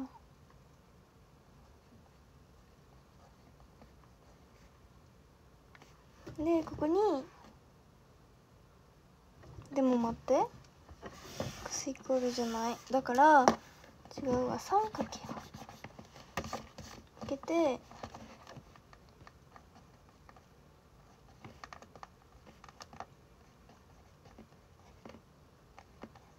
だから x プラス y で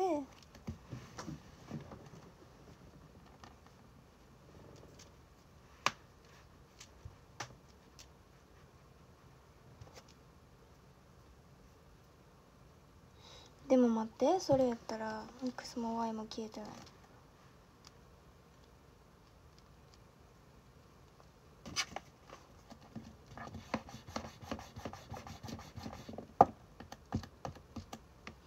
でもよう考えて。これを先にやったらいいんじゃない？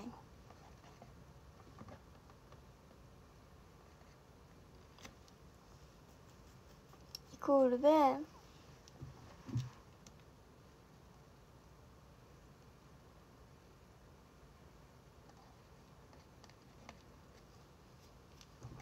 だから違うわ。何でもできんのかこれやったら。じゃあ引く。y で2で6で。でここ間違ってますね。マイナスですね。だから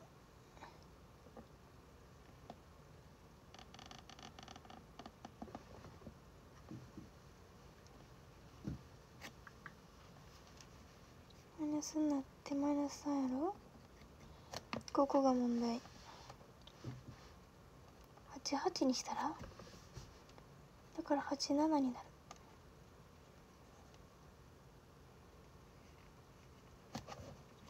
ややこしいねじゃあ。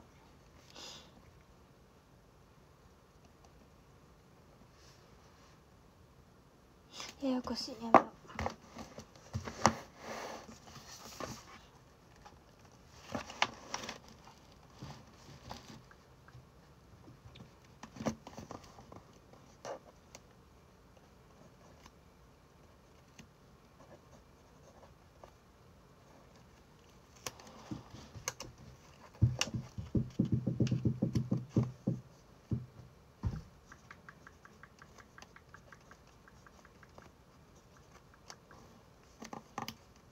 すから5で足すからで3で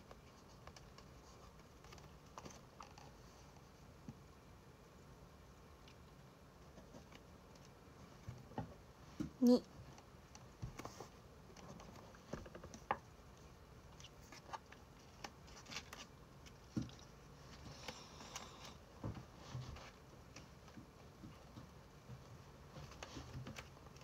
だから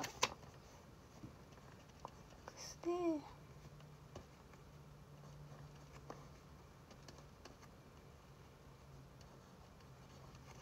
y がこっちにおるのがだるいねんなそっか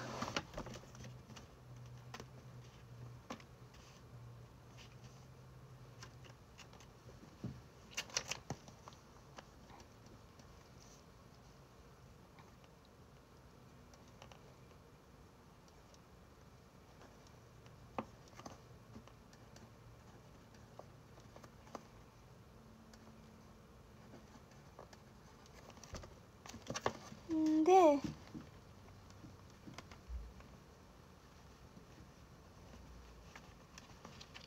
引くからまんまで引くから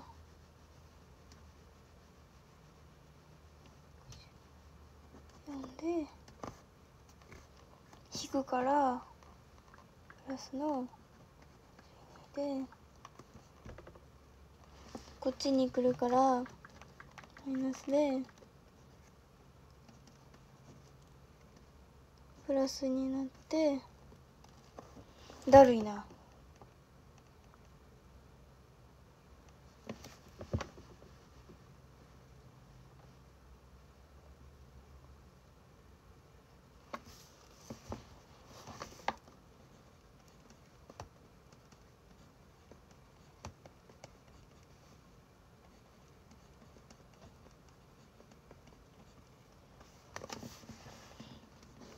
とこれは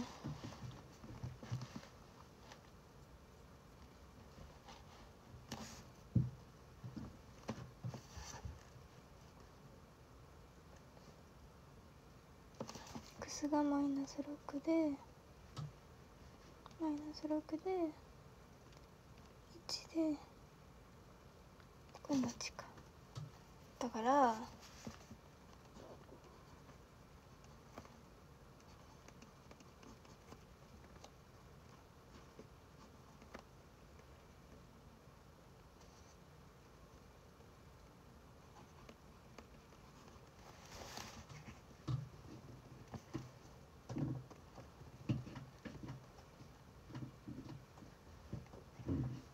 逆にしたら？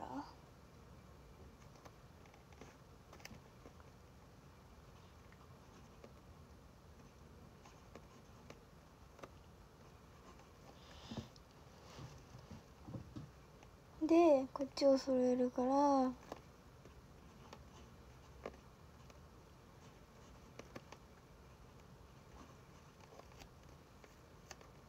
消えて足すから。足したら。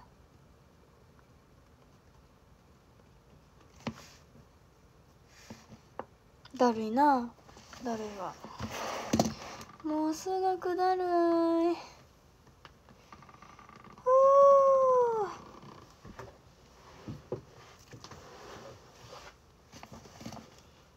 う x マイと yx の封筒の中に 4x 入れるとマイナス8で 3x ずつ入れるとプラス12になるから。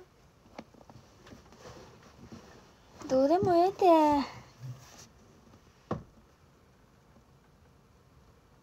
や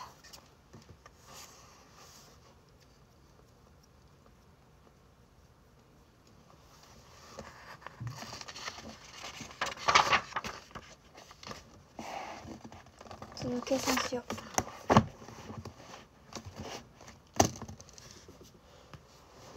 ううん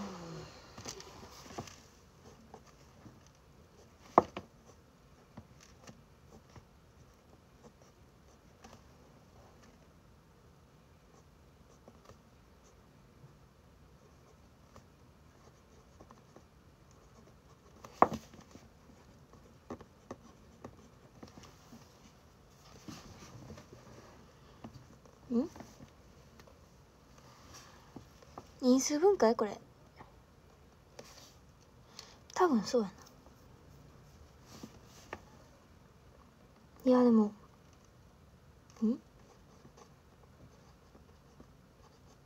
これやな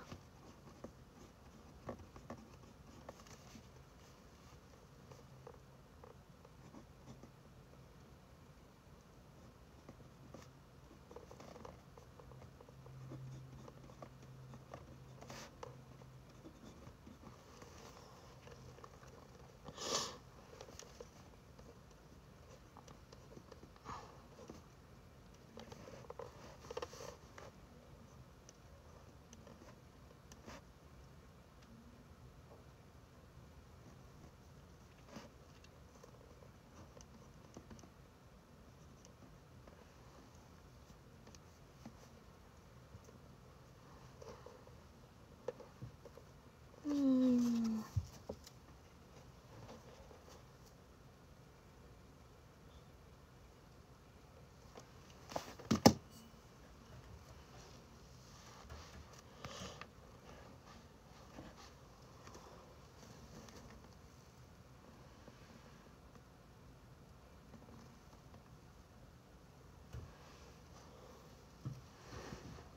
だるいな。ここでいいや。絶対間違ってるけど。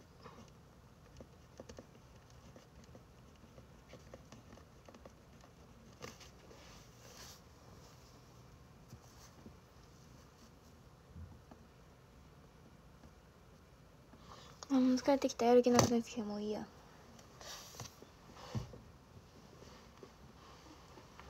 もう最近ほんまに数学だるい。んまにいなもんな。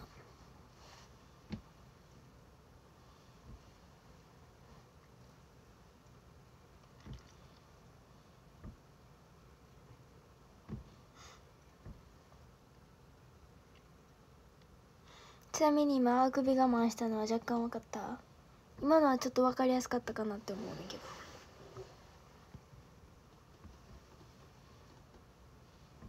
ほんまに数学が一番めんどくさい。唯一数学だけやもん。あとワーク系で出してないの。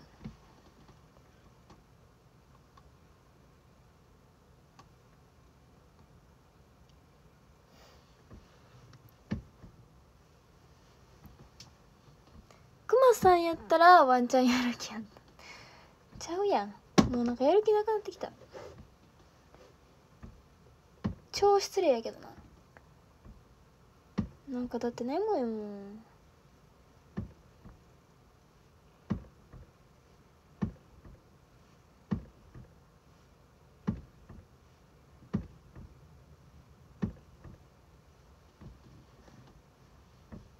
いいよどうせ将来数学使わんし。数学使うような頭いいとこにはいかんと思うし。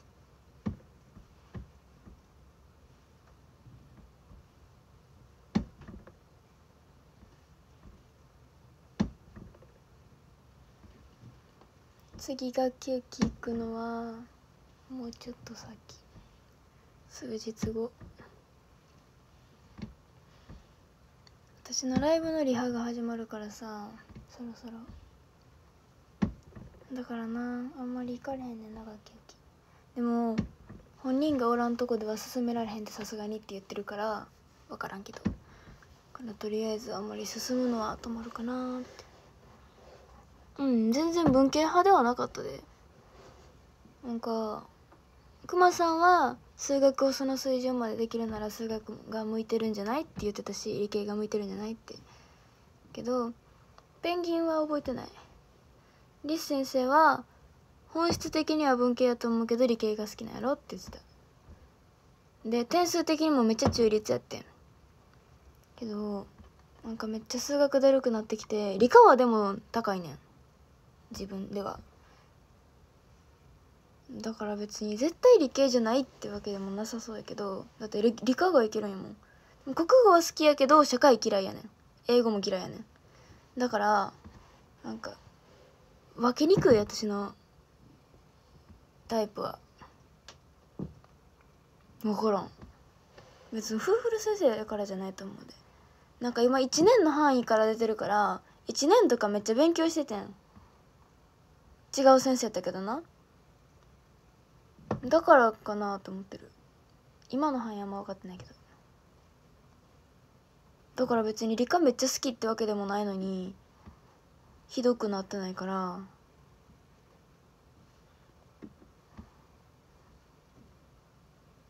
まあ文系の方がいいけどな。でも収入いいのは理系やしな。いやでも理系はなんか向いてない気はすんねん。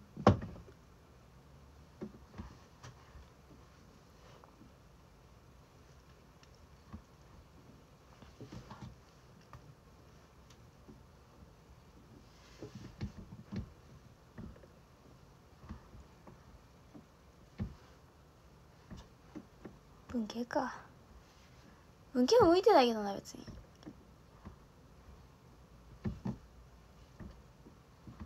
国語好きなだけで。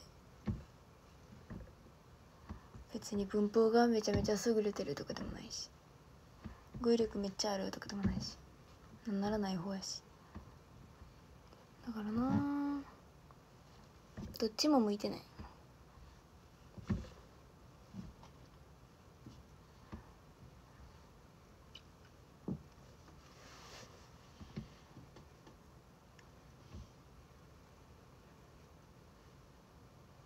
送り系？ほんまにそう？ほんまにそう？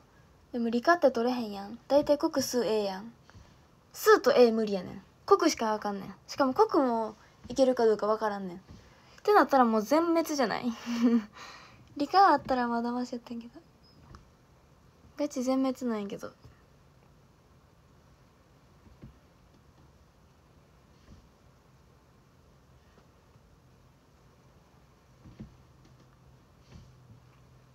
嫌やな。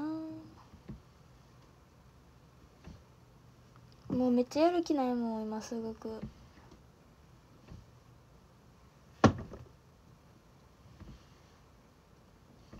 まあ頭悪くても別に生きていけるっちゃ生きていけるけどな。だってめっちゃ頭悪い人でも全然幸せそうに生きてるもん。じゃあ別にいらんちゃいらん。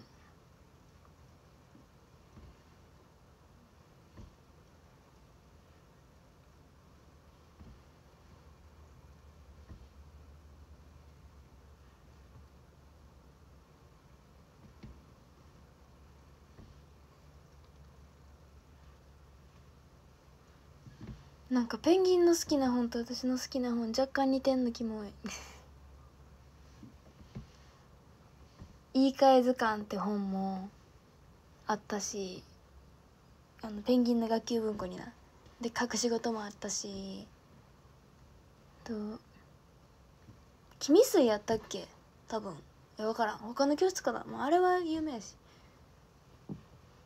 と「腹を割ったら血が出るだけさ」はまあペンギンが言ってくれたからあるのは当たり前やけど。と「夢を叶える像」も0と1かなあ1と2かなあって。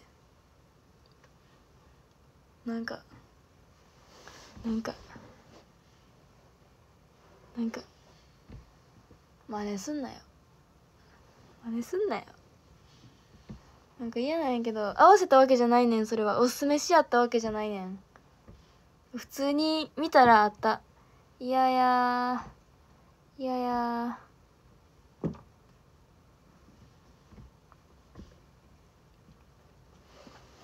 や私も隅野夜さんの小説は好きよ。けどなんかペンギンがっていうのがちゃんと嫌や。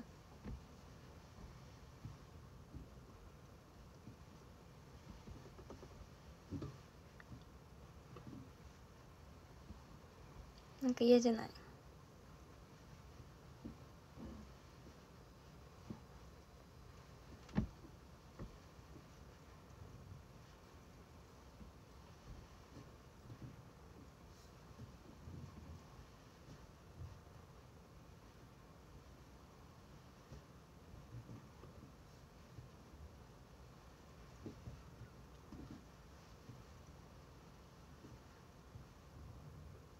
なんか他のクラスのな学級文庫おもんないねんな。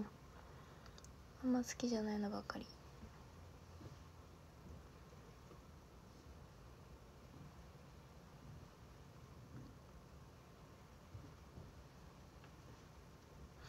同じ本読んでてもな。やっぱり脳の差があるからさ。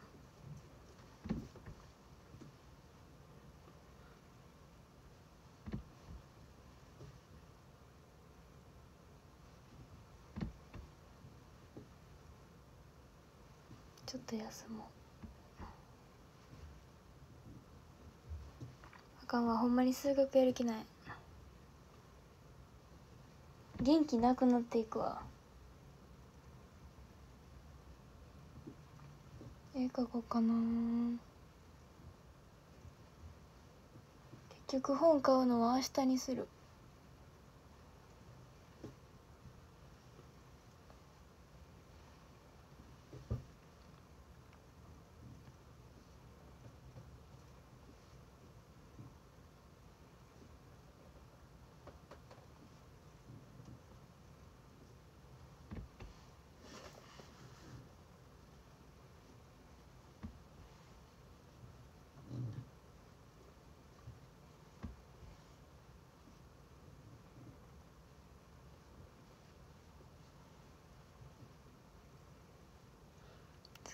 た。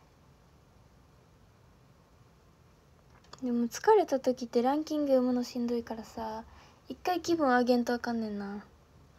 誰か面白い話してよ。ほんまにな。ほんまに気分下がった時なランキング読むのしんどいねん。ね息吸われへんねん。疲れた時に読んだら。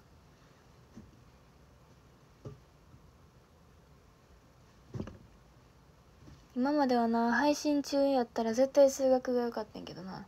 だって頭動かしながら喋れるもん。数学やったら。社会とか読まなあかんやん。問題。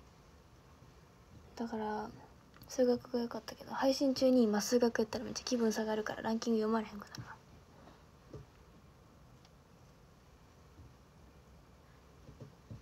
感想が？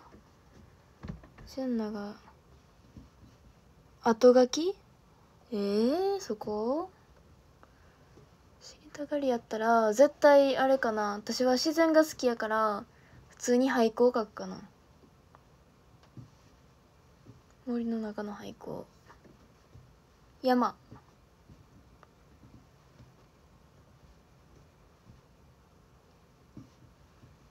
別にこのシーンとかじゃなくてなんかその登場人物たちが見てきた景色を描きたい。特別な何かじゃなくて日常がいいね私は。疲れたな。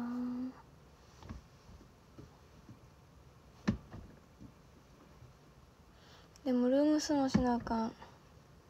月2回以上ってなかなかやで。しかも毎日配信してるみんは。これプラスで配信しなあかんからな。ルームスでやるわ。充電なくなりそう。読みます。ああペンギンの癖もう一個思い出した。ため息や。めっちゃ吸ってから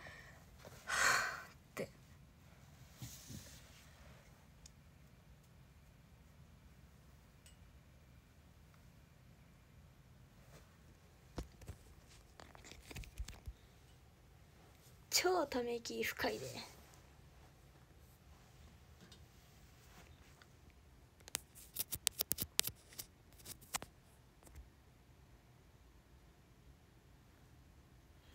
ランキング読みます。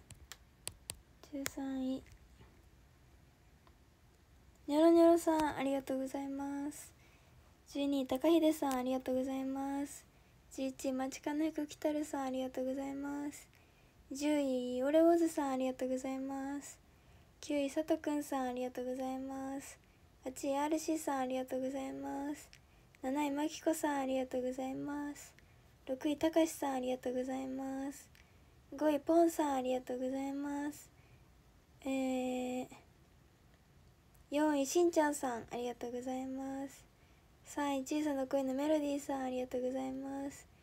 3位バンじゃあ2位ダンズさんありがとうございます。1位伊達ちゃんさんありがとうございます。ありがとうございました。ペンギンは生きるの辛いのかな？えー、なんかこの世界に絶望してそうな顔してたけど出会った時は。けど今は別にそんなことないかな。だから彼女と出会ったからちょっと人生バラ色になりつつあるんじゃね？だる。春が来たからとうとう。ベッドに2個使う時が来たから。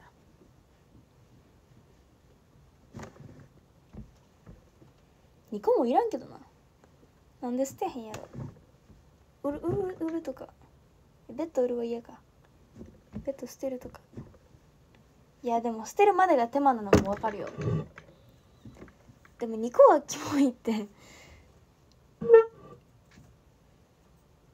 個でいいって。だって大半ベッドって言ってるもん家の。はよ処分したらいいのに。元カノに元カノとお揃いのコーヒーカップも元カノにもらった靴も。てればいいの。に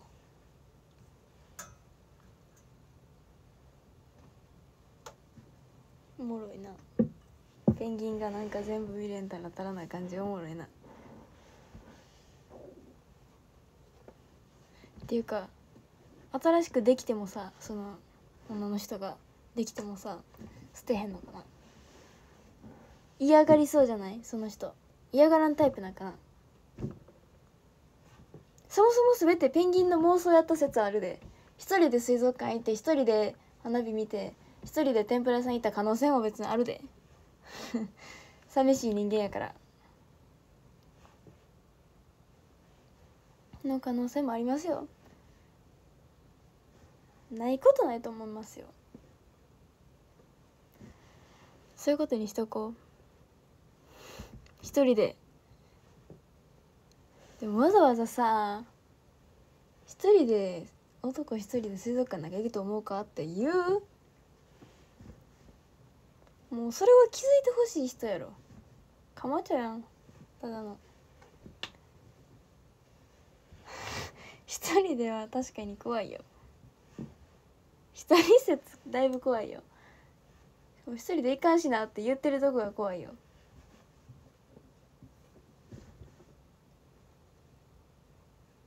でも可能性はないことない。じゃあ続きはルームスでします。さようなら。さようなら。さようなら。失礼します。さようなら。